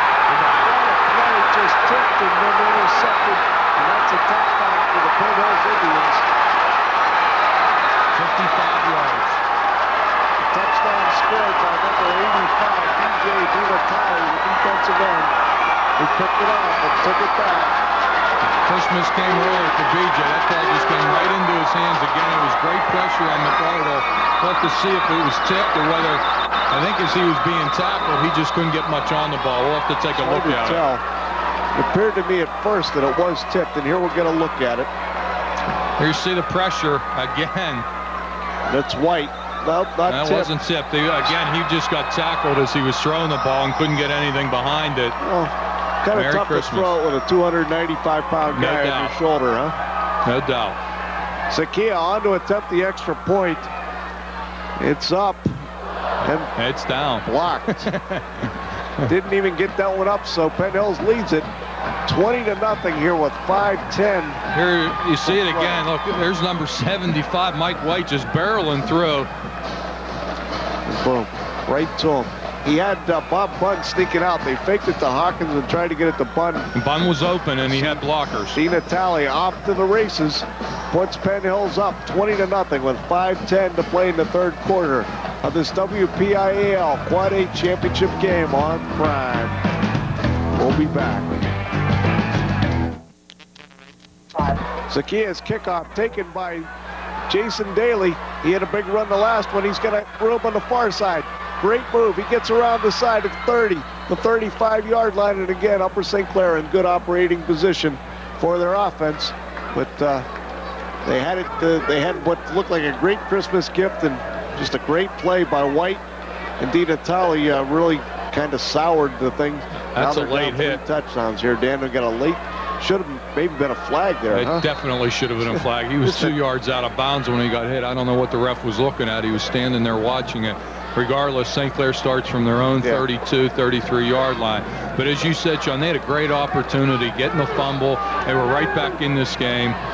But unfortunately, the defensive pressure of Penn Hills, which has been the story all game, causes a turnover right back and an easy touchdown. High formation set to give us the Hawkins on the draw. And that's the second time that play's worked rather well. As Cullen Hawkins' second uh, sizable run of the night, really only.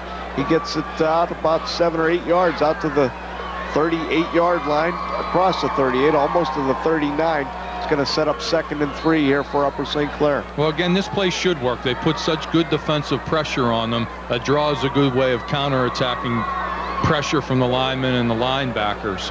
You know, one of the, one of the problems St. Clair's had is they've gotten a little bit too fancy with the play fakes and you know the reverses and so forth. You know McCardle's rolling one way, throwing back the other. They need to start doing things a little quicker. He's getting too much pressure on them.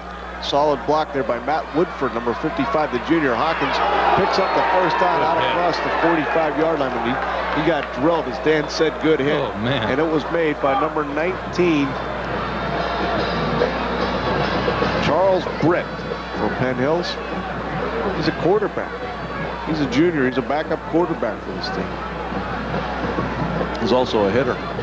Must be a flag on the play. They're no, they're oh, they're taking their time moving the sticks. Are they going to talk it on? I don't see a flag. Dead ball. Yep, there's a, comes a signal. Personal dead ball. foul. Personal foul. That Against the defense. They got that one on the far yards. side, Dan. First down. That's going to take it 15 more. And Upper St. Clair will be down on the Penn Hills 40 just like that. Well, I think they're a play late with that, but or two Yeah. plays late with that because that, one looked clean. I'm not sure if that was Must have been if the something- call was on the tackle Yeah, or there was something else that we didn't see. But Right. See Coach Render and Tim Stein. The senior wide receiver flanker for Upper St. Clair brings the play in. Mac McCardle heads out to the far side. Got Jason Daly and Hawkins. Hawkins in the slot on the near side as Stein comes in motion. Daly's out of your picture, way to the bottom of the screen. McCardle wants to throw it on first down. And he's looking to Daly in the turn-in route pick up from about eight. We'll see where they mark it. He had about an eight-yard reception. Jeremy George, though, pushing him back. Those are the kind of plays I think St. Clair needs to run, Sean. Nothing fancy. Just roll them out to the right, bite them a couple seconds. Take the seven, eight-yard gain. That's fine. Just work your way downfield. There you see the rollout. This time Mac has time to set up, yep. and he puts it right on the numbers. Where they've been getting in trouble is when he's been faking twice to both backs or, or rolling right and coming back to the left. They just need to run things a little quicker because he doesn't have the time tonight, and he's not going to have it. Penn Hills is just putting way too much pressure on him. Right, and with that, uh, Penn Hills defensive coach Tim Timko wants to talk about it. They've taken a timeout here. Their first of the second half with 3.46 to play in the third quarter. Penn Hills leading Upper St. Clair 20 to nothing.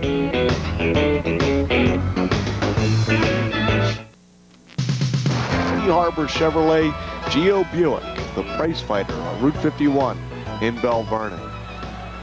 Second and four for the Panthers at the 34. McCardle fakes the pitch and goes deep. Has Eric Render. should be An early hit in the flag. The official went down. That's a good call. Came out, and it's going to be an interference call. Upper St. Clair, not first and goal because it's 15 yards in high school. Boy, if this were the pros, they'd really be in good shape, Dan. Yeah, it is. And really, if you're a defender and you're beating high school, that's what you should do. Yeah. You know, just go after the guy and tackle him because, again, it's a yardage penalty and not at the spot of the foul. I've never understood that rule. I, I think it's crazy because he's clearly beat on this play. McCardle throws a beautiful ball. And if it, not for the interference, Would have been a touchdown You know, for Eric Render. or- Instead, uh, yeah, or at least inside the five. I mean, that's what you should do if you're in the the secondary in high school. 15 Just tackle him, and he was beaten. That's exactly what he did. Victor Strader in the coverage. Render got behind him, but uh, Strader was quick enough to catch up enough to knock him down. You know, instead of getting the ball at maybe the four or five yard line, uh, you know, they're on the 19 yard line. So actually a good play by Penn Hills to prevent the long, long pass. High formation set. First and 10 at the 19 for the Panthers. Down three touchdowns. Hawkins on He the gets counter outside, he's got. Following big Jason Bisson. He's got in. first down. He's got Oh, he didn't make it. 4.2. And he's shut down at the one yard line. But what a run. The longest run of the game for Colin Hawkins, an 18 yarder. Sean, if you remember earlier in the game, I said they ran that play and they missed the block. Well, that time they made the block. Right. And that time Hawkins did what he, the play is designed to do, cut inside the defensive end and cut it upfield. Here you see it. Here's the key block. You see the lineman pulling right there. That's the block. that enables him. Now he's just trying to get that big number 75. Jason Bisson. Jason Bisson out of his way, and Jason goes downfield and creates some problems. And a nice play.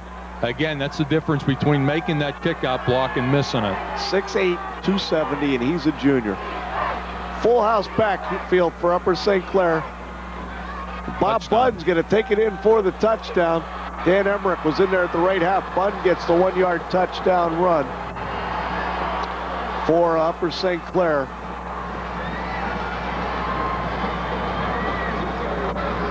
That's something Eight that touchdowns on the season yeah, for him. Yeah, if you've scouted St. Clair, that's something they like to do. Bunn gets the ball a lot around the goal line for his eighth touchdown. That's good blocking right there. Straight on blocking. Tackle did an excellent job clearing out the way. Hawkins' extra point attempt is up, and it's good.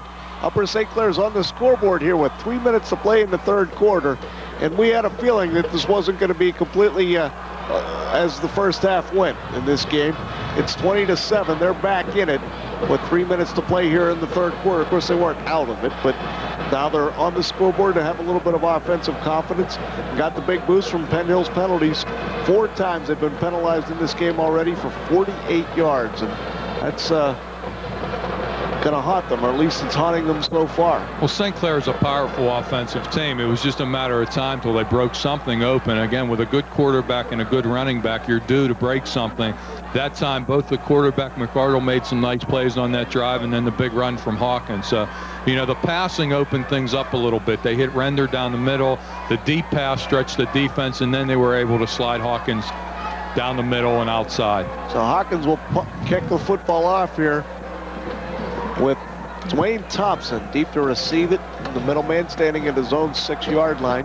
Victor Strader on the far side. Damian Germany on the near side, number two. That mixed, missed extra point might uh, mean something down the stretch here, Sean. Again, it's only 20 to 6. Yeah, Germany uh, falls down loose, obviously, as soon as his knee touches. So Penn Hill's going to start out their own 17-yard line as Hawkins kicks a line drive. It was tough to handle.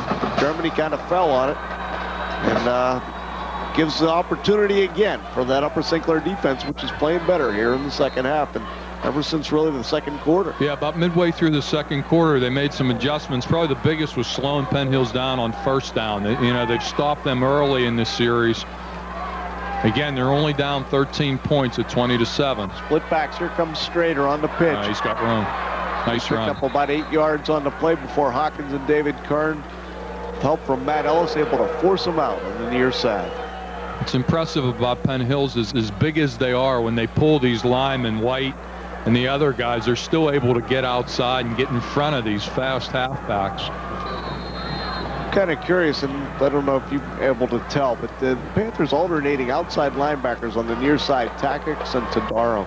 And I don't know, it's not play-by-play, -play, although Takacs just comes in for this play.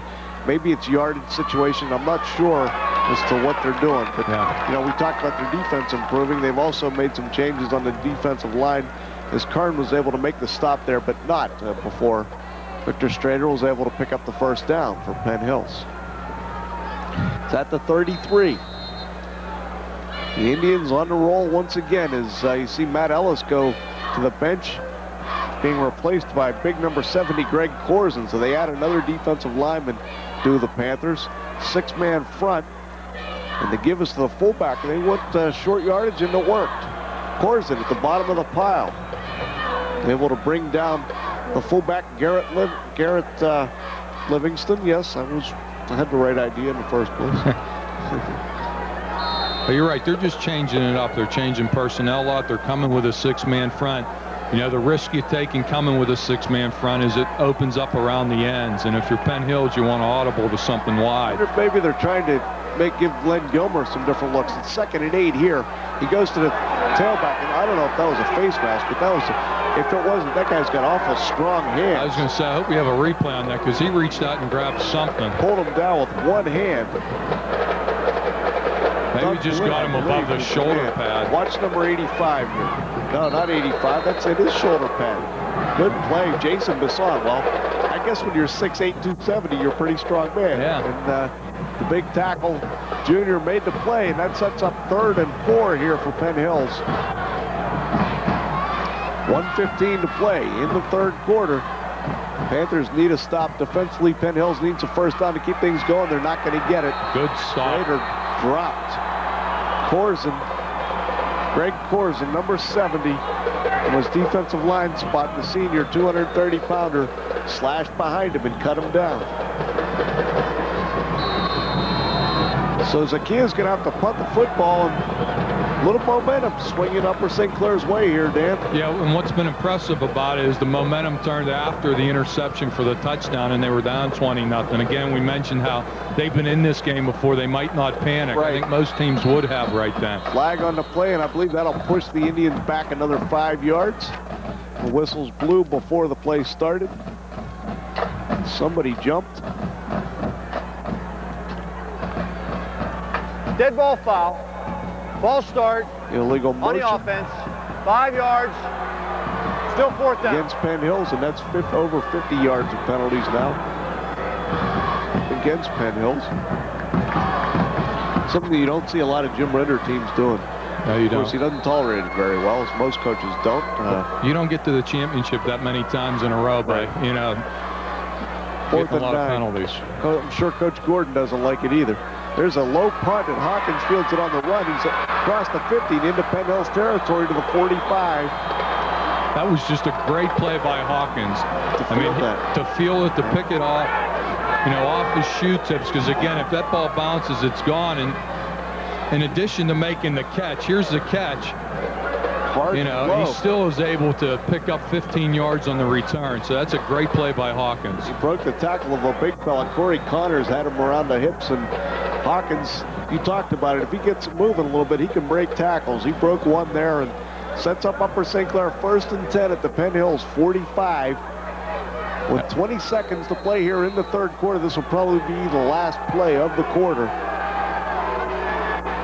I formation set behind McCardle, Bunn and Hawkins. Daly split the other way. They fake it to Hawkins. McCardle wants to throw it. He's got Tim Stein in the middle of the field. Open. He caught it. Oh, What a catch. Tim Stein, first and goal, Upper St. Clair. And, it- you know, as I said, he was open. Penn Hills really reacted nicely on the play. Number 19, Britt got there in time. And Strader was back in coverage. I mean, they were there. Stein just wanted the football more. The ball was just a little bit underthrown, but give McCardle credit for giving his receiver a chance. But you can see the defender's there. Then he gets help. That's From the other side, he comes over, and there's really two defenders there. Yeah. Stein just went up and got the ball. That's a great play. Thompson, Britt, all there. And Stein wanted it, so at the end of the third quarter, Upper St. Clair in scoring position, down by two touchdowns in the Quad A championship game. We'll be back.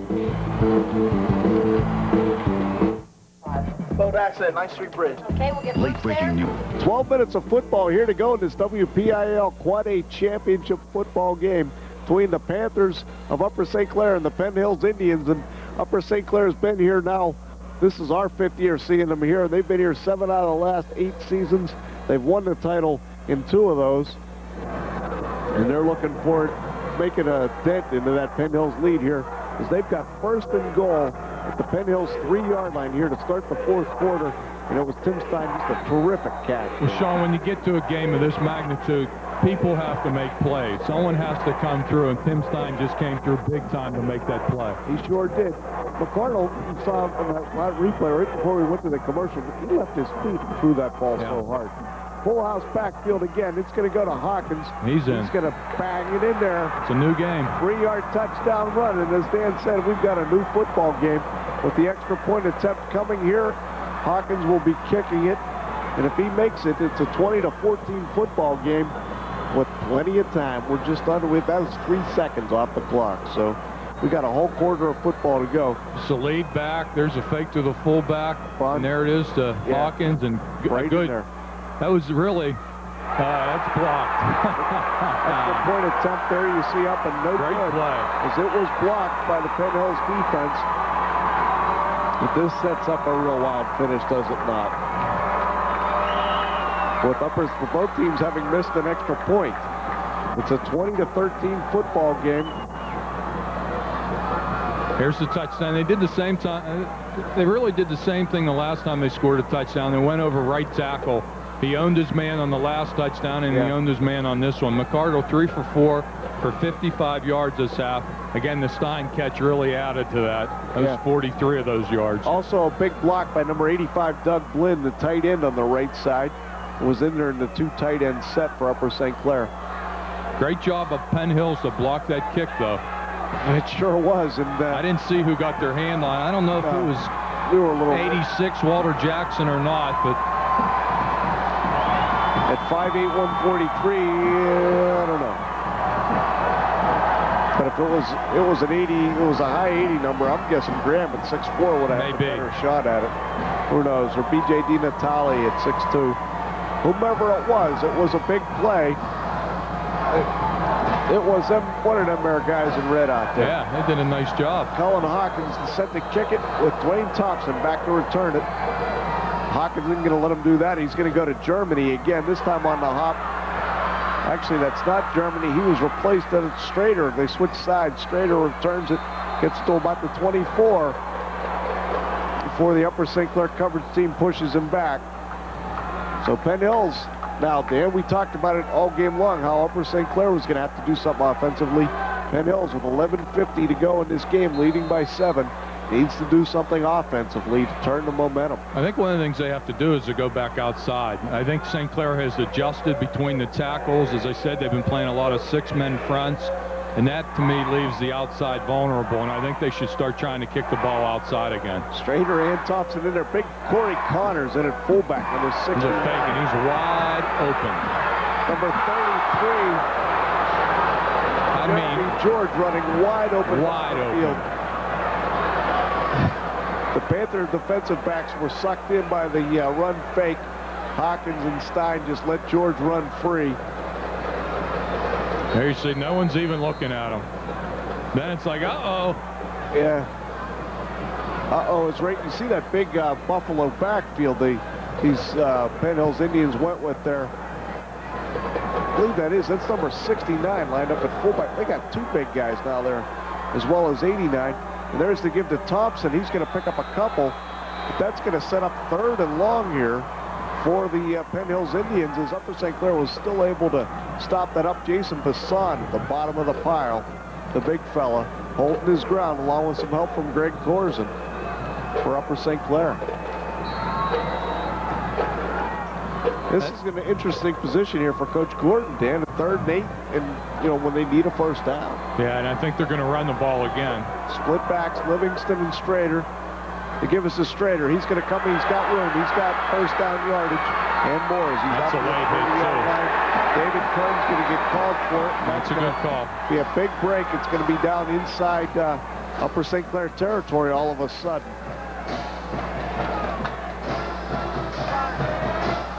That's a big Dead play, ball. Sean. You know, we're talking third and eight. Personal foul, late There you hit. see him. He does get outside again. I think yards. that's vulnerable. First down. He picks up the first down.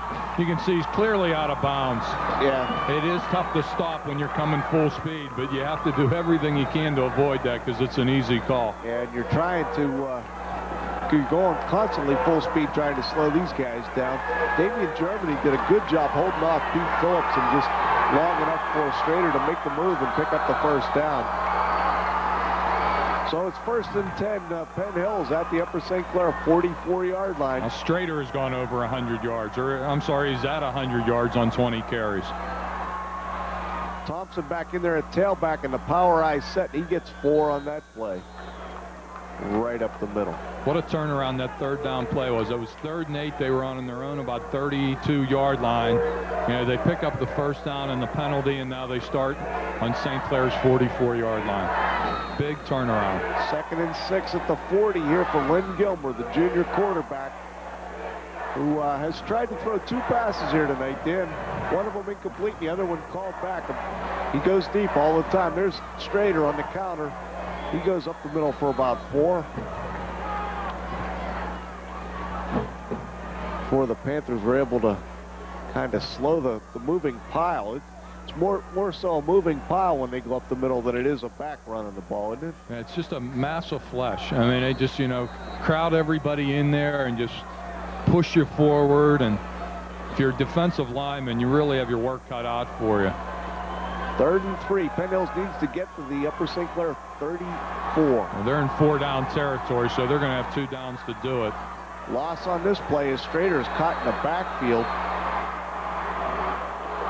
Came from the outside. Andy Takacs came from one side. Bob Bunn from the other. The linebackers able to make the play. And that's a great play because, again, if they're really crowd in the middle and there's their you know, two lead blockers come from the come from the outside, bring your outside backers, Yeah. and that's exactly what they did. And they've got those big guys in the backfield leading the blocks.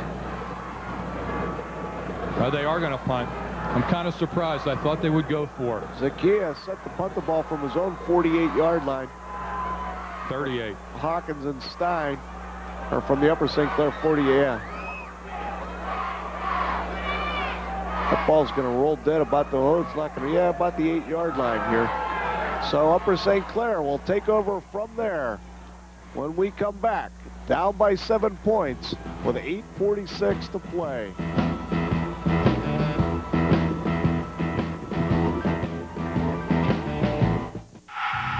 There are only two realities in the world of sport. The real world and the virtual world. Sport, where reality and virtual reality meet. A new interactive exhibit now taking on all challengers at the Carnegie Science Center. Sponsored by Prime Sports and TCI. Sport. Just play it.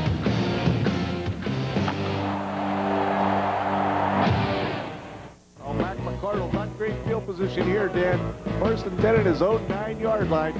They need a drive to tie this game up, and they've got plenty of time to do it. McCardle to throw on first down. Hits Daly on the near sideline and is out of bounds for a completion, but a pickup of about eight yards and some breathing room offensively. Sean, tough decision by Coach Gordon on that last fourth down. They had about fourth and three to go for the first down. This is what St. Clair needs to do. A quick drop. Yep. You know, a little six-yard out pattern. Just nickel and dime your way down the field. It's almost a nine-yard pickup. It's we'll, get, we'll make it eight. It's going to be second and two here for the Panthers. It's a short two, though. Daly split to the near side. I formation set behind McCardle. Pete Phillips in motion. Hawkins on the counter, has room.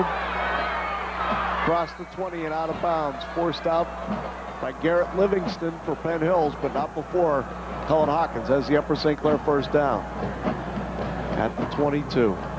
Little delay of a handoff to give the right guard and right tackle time to pull. They came around the corner leading Hawkins, did a good job sealing the corner. He picked up the first down. Cameraman J.C. Smith kind of bailed out. On, he didn't want to take on Hawkins. I can't say that I blame him. J.C.'s not quite the six foot, 180 pounds that Hawkins is. But a first down for St. Clair gives them a little bit of breathing room. Stein and Render switching. Fake to Hawkins. Quick pass to Bob Bunn, the fullback with the reception. Another first down across the 33-yard line out to about the 34. A nice quick uh, play. Another quickie, Dan. They're, they're just throwing the quick short ones as you talked about. Yeah, and a good job by Coach Render today of really changing things. You know, they, they had trouble defensively early on. They corrected some of that. They had trouble offensively in the first half. Well, they've changed things. You know, they're throwing short patterns, throwing to the backs, throwing square outs. You know, so good job of coaching during the game to, to get your team out of some rough spots. You know, we've talked about it. Uh, Penn Hill's a team with a greater speed, but, you know, these, these defenders are always chasing Upper St. Clair receivers. These plays very well designed as Bob Bunn came out of the backfield for that reception in front of Garrett Livingston. This is Hawkins. Another big pickup for him as he's got 13 yards. And Cullen Hawkins, the senior for Upper St. Clair, 1,600 yards this season, and he's moving up on 1,700 after a slow first half. He's starting to wake up a little bit and get some room to run, Dan. Again, a nice kick-out block on the defensive end. Seals the corner. He cuts it upfield, breaks a tackle there to pick up five more. Runs through another tackle to pick up three more. Sean, really the key is, as we said before the game, St. Clair has nice balance. They just didn't get the ball very much in the first half. Right. Penn Hills dominated. They had the ball the whole first half. Now they've had the ball in the second half, and the balance is really starting to confuse Penn Hills. They're on their heels a little bit. They're not sure if they're going to throw the ball, run the ball, and I think their ability to throw the ball has opened things up for Hawkins. You know, what, the, what would Yogi Berra say, deja vu all over again? Or somebody said something like that somewhere along the line. But weren't we in this position last year? Upper St. Clair driving. Exactly. 7-18 to play in the game, trailing a great McKeesport team. They're a touchdown behind here against uh, Penn Hills. 20 to 13 is the score. You are watching WPIAL Championship Football on Prime, and it's being brought to you by Computer Tech. Prepare for your career in the computer industry at Computer Tech where you earn a specialized associate degree in just 18 months. First and 10 Panthers, Jason Daly split to the near side with Stein, the flanker, on the far side. It's the Hawkins on the counter. He's across the 50 and into Penn Hills territory for a pickup of about four yards on first down. Sean, Greg Coors in the block, huh? It is similar to last year's game because McKeesport was dominating St. Clair early in the game. It was the same kind of situation. St. Clair had to start changing up things, and then they made a late charge like they're doing again tonight. Hawkins came up a little gimpy after that tackle off the see as he uh, kind of tender coming out of tender-footed coming out of the huddle here. Split backs here on second and six for the Panthers.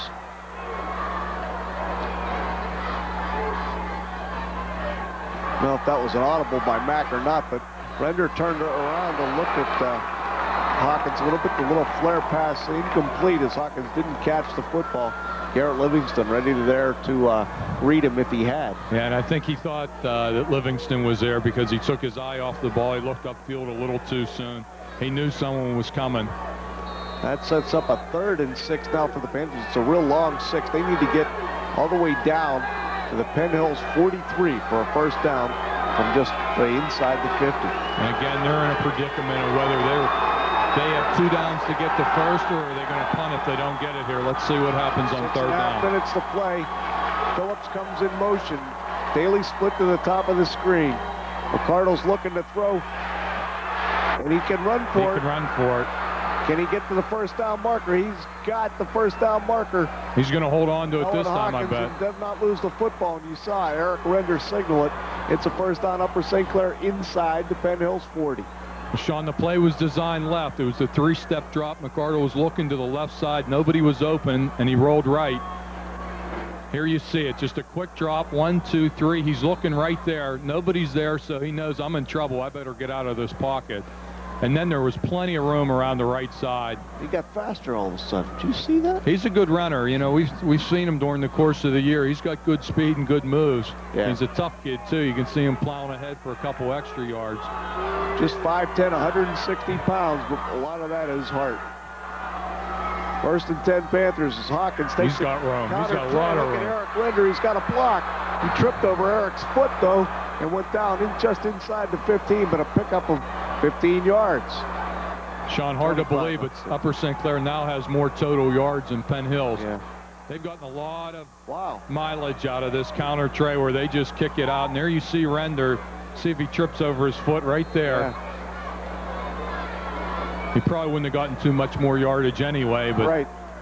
Now all of a sudden Cullen Hawkins has become a factor. 14 rushes for 89 yards. You talked about the uh, changes they made. There's a tight end leading on that counter Yeah. tray instead of the tackle. So they Panthers are mixing things up offensively. First and 10 at the Penn Hills 25. Pete Phillips in motion. Looked like Render moved a little early, but no call. Same play. Hawkins picks up four. Well, counter tray is a good play to run against an aggressive defense because you're really suckering the defense into pursuing. And as soon as that defensive end comes upfield, you know, someone pulls and knocks him out of the way. Yeah, you don't fool everybody too much. So watch uh, number 89, Ronnie Graham, the outstanding linebacker, the junior from Penn Hills, who was able to get Hawkins after the four-yard gain. Oh, that's 28. I was had the wrong guy. 28 made the play. That's Livingston, and he's been all over the field tonight. Yeah, he sure has been. He doesn't get the notoriety of some of the other players on this team, but he's a heck of a football He's player. He's the other inside linebacker. Second and seven yards. He gave him a long three for Hawkins. There's a give to Bunn up the middle. That's the first time they popped anything of sizable note up the middle. It just got pushed back by Dina Tolly and Ronnie Graham.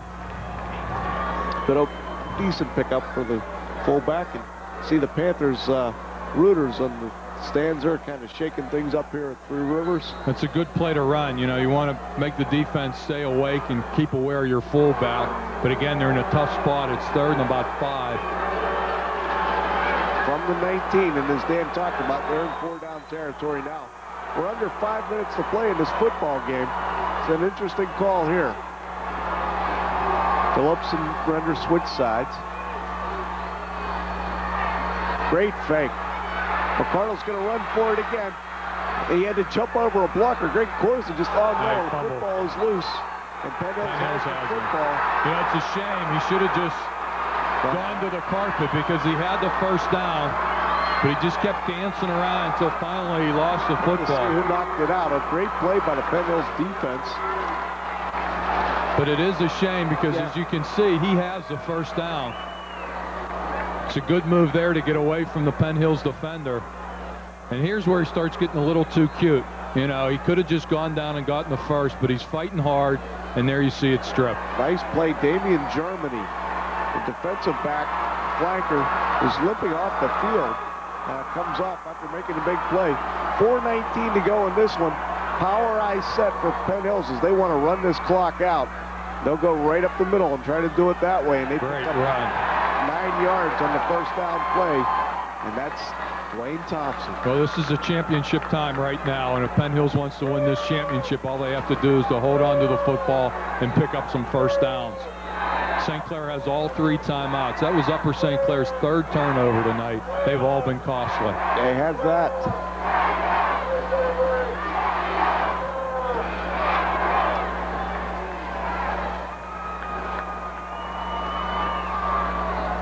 Thompson again, big hole. It's almost like the air has gone out of St. Clair's sails. That was their last drive, and I just think they're down a little bit right now. Phillips and Stein able to save the touchdown from happening there, but you see these guys just get blown. You see Doug Blinn selling out. Livingston, a, a great block a great on the block. fullback, huh? You know, he number 85 for St. Clair Who's that Doug Blinn. He looks like he's got a wide open shot on yeah. the guy, and all of a sudden Livingston just blows him out of the hole. And Bob Bunn, the other linebacker, came through the wrong gap, or maybe not the wrong gap, but just wasn't in position to make the play and pick up for the first down. Hills running the clock. We're down to about three, almost approaching three minutes to play in this game. It's, it's just hard to believe that Thompson and Strader will both be back next year. I mean, amazing. Again, they just break tackles constantly. And they're little fellows, both of them only yeah. 170 pounds each. Uh, but they are tough runners and they're fast.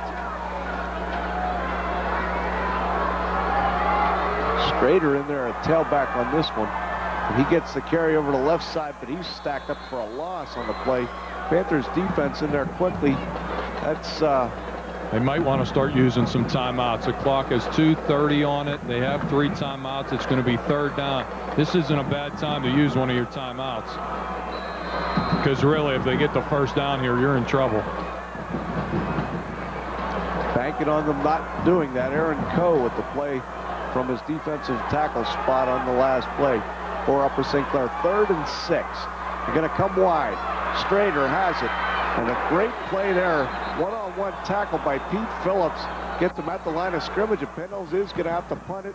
Upper St. Clair calls timeout, or no, we've got an injury timeout as it looks like Strader. Yeah, they're going to get away without having to use a timeout. 2.02 to play. The Panthers will get it back, apparently.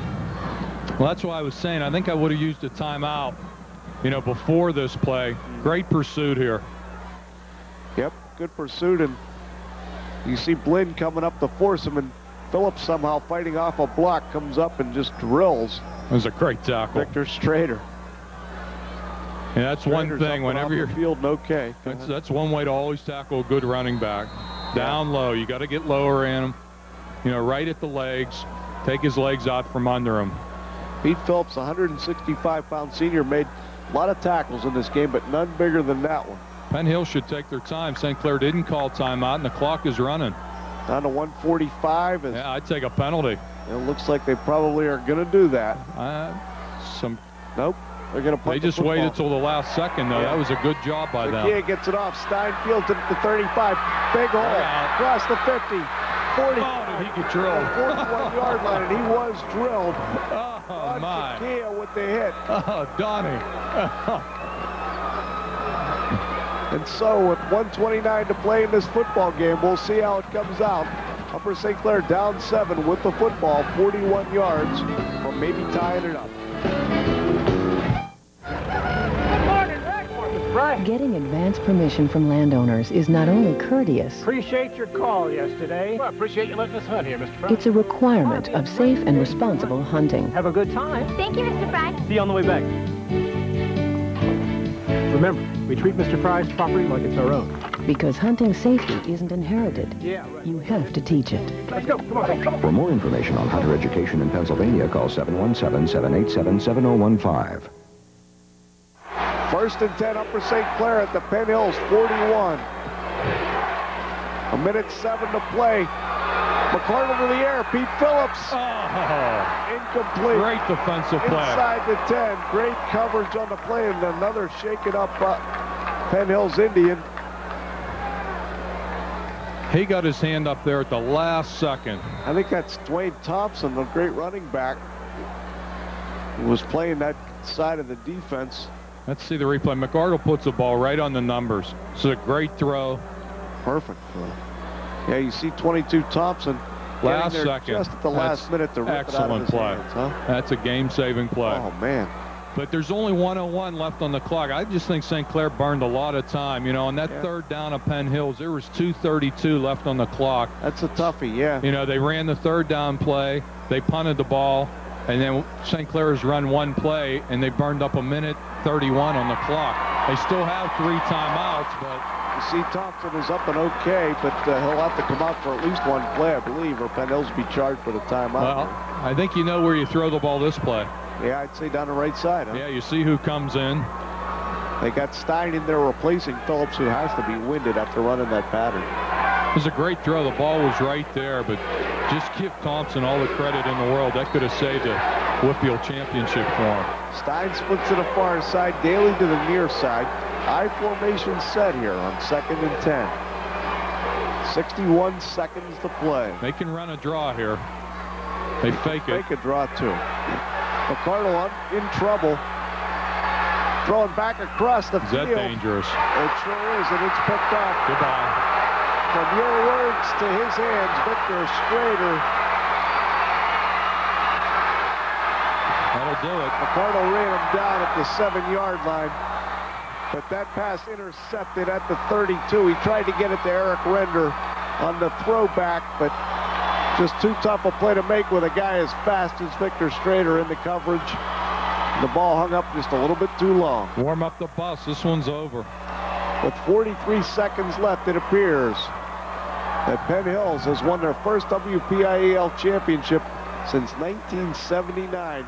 And it's been a long, tough battle for Neil Gordon Well, it's as been, the head coach. It's been typical Mac McCardle's night. He's trying so hard, Yeah. maybe trying too hard to make something when something's just not there. That's like a 35-yard pa pass play across the field. Yeah. And, you know, with When the speed the on Penn way. Hills, yeah, you're throwing across your body. I mean, he knows it. You know, he, everybody knows it. Again, he's just trying to make something happen, and that's, unfortunately, three of his turnovers, turnovers tonight have been him just trying too hard. Thompson back in there on the carry, so he's obviously okay and will be fine to move on in the state playoffs with the uh, Penn Hills Indians. So he picked up four yards there on first down. It's going to be second and goal for Penn Hills outside the upper St. Clair And I would, three-yard line. I would think they're just going to let it run. You would think 22 seconds to go on the clock as you see it in the top left corner of your screen. Not going to rub it in. What a great day of football, and what a great uh, championship this is for uh, Neil Gordon, Dan. It wasn't all that long ago that he was asked to resign by the school board at Penn Hills. As Well, Penn Hill- Hills it down, and that's official. Well, Penn Hills is back, Sean. I mean, this was a powerhouse team in the in the 70s and late 70s, and they had some rough going there in the early 1980s, but they are back. And no, that's not true. That's not the Upper St. Clair Panthers.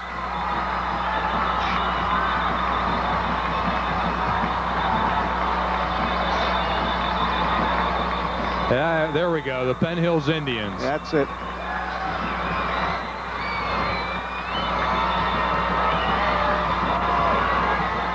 But he has brought this team, he has brought this team back, Sean, in the early, when he took over 1987, he went 0-10, 1988, 3-6-1, and then continually got better from that time period until they went 12-0 and won the WPIAL Championship in 1995. Let's make it 13.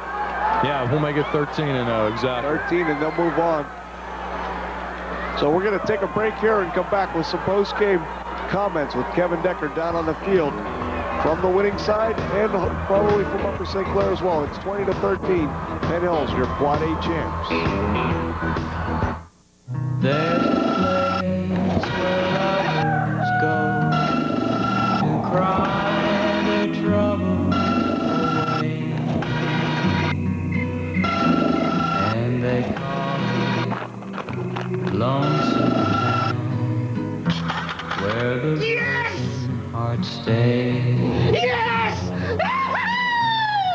Buy a dream These WPIAL championship football games have been brought to you by Allegheny General, Duquesne University Sports Medicine Institute. By Gillette, the best a man can get. The Pittsburgh Post-Gazette, the PG makes the day for me. By Cameron Coca-Cola, always in the game, always Coca-Cola. And by Adelphia Cable Communications. What a Quad A championship game it was. It went all the way down to Mac McCardle's last gas pass back across the field intended for Eric Render. Victor Strader, who else to intercept it? It was Strader and Thompson. It was their show here this evening, Dan, as well as the Penn Hills defense in the first half that got the Indians their 20 to 13 victory.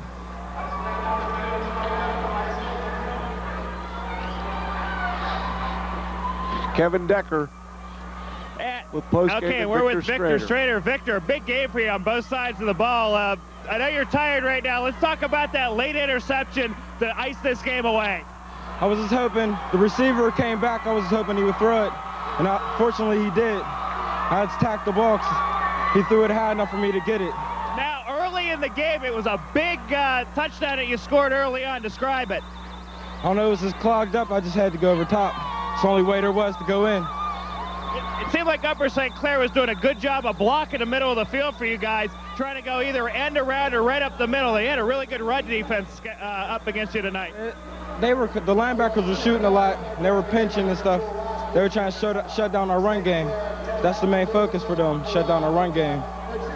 They was doing a good job. Now this is uh, not the end of it for you. Still got a few more games to go. Excited about the uh, the prospects of going to states? Yeah, we're trying to take that too. All right, congratulations. Back upstairs. Boy, Victor Strader had it right there. They sure have really done it. Uh, what a what a win for the Indians it was. And uh, you know, he talked about Upper St. Clair. They've been here. The Indians were able to overcome everything Upper St. Clair threw at them, and he, as we knew they would. Coach Render's Panthers gave them a football game. Although when you look at things pregame, we talked about it, they're going to have trouble staying with this team, but down to the last minute again, Dan. Well, they, well, they had their chances, Sean. Their last two drives, you know, they were in Penn Hills territory. Two turnovers cost them, but I mean, a great performance by Penn Hills. You really have to be happy for the people of Penn Hills and Coach Gordon. As I said, they started this program off 1987 0 and 10, but obviously he put the building blocks in motion. You know, he must have gone out to the grade schools, got kids playing again. And those kids are now seniors and juniors now, Absolutely. and they're paying dividends. Absolutely. Well, Kevin Decker has uh, Neil Gordon, the winning coach, down on the field. Take it away, Kevin. Head coach Neil Gordon, a big game, and it's been a long time coming for you. Well, you know, Ace Heberling always tries to get the two best teams into the final, and I think he succeeded this year. Uh, St. Clair, a heck of a team, uh, very well coached. We played well tonight. Uh, we made a couple of mistakes to let them back in, but then made a couple big plays down the stretch to take it away. So uh, hats off to my kids. They beat a heck of a football team tonight. You had them pretty much in hand early on offensively, and then uh, they did make a little bit of a comeback. A little bit nervous there in the uh, in the fourth quarter at all? Oh, no, a little bit's the wrong word there.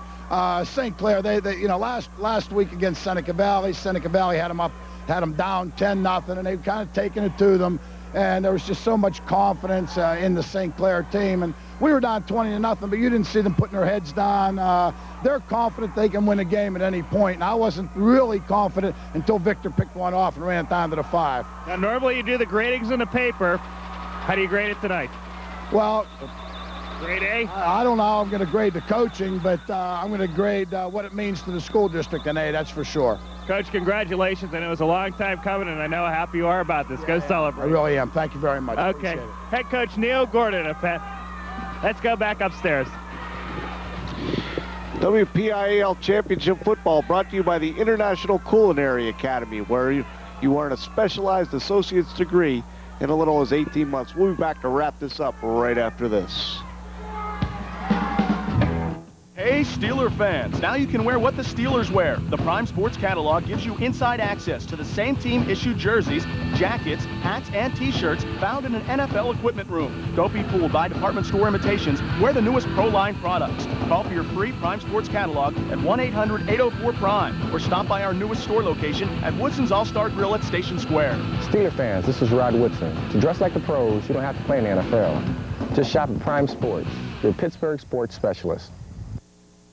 Sean Doherty and Dan Donahoe back with you here at Three River Stadium, a rapidly emptying Three River Stadium after the final uh, WPIAL championship game is completed.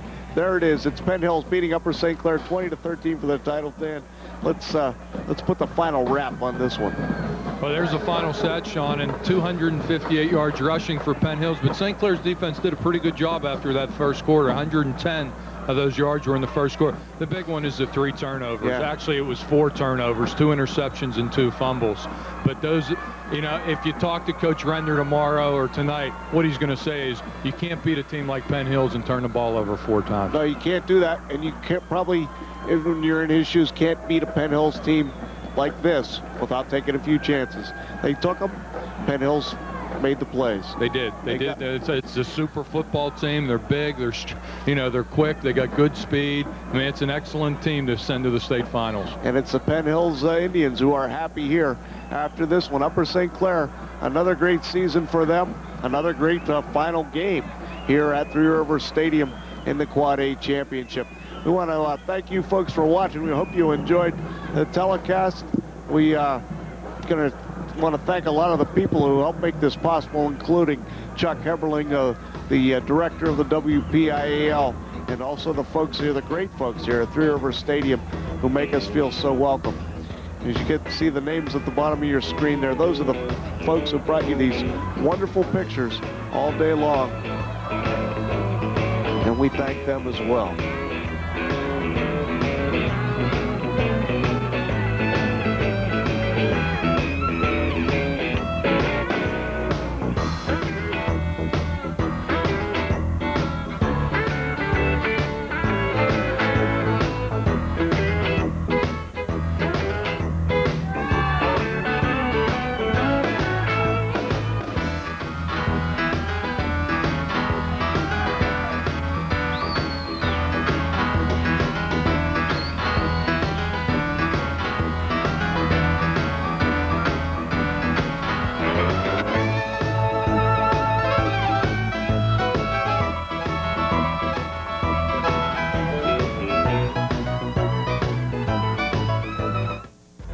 Remington, shave this. If you can grow it, we can shave it.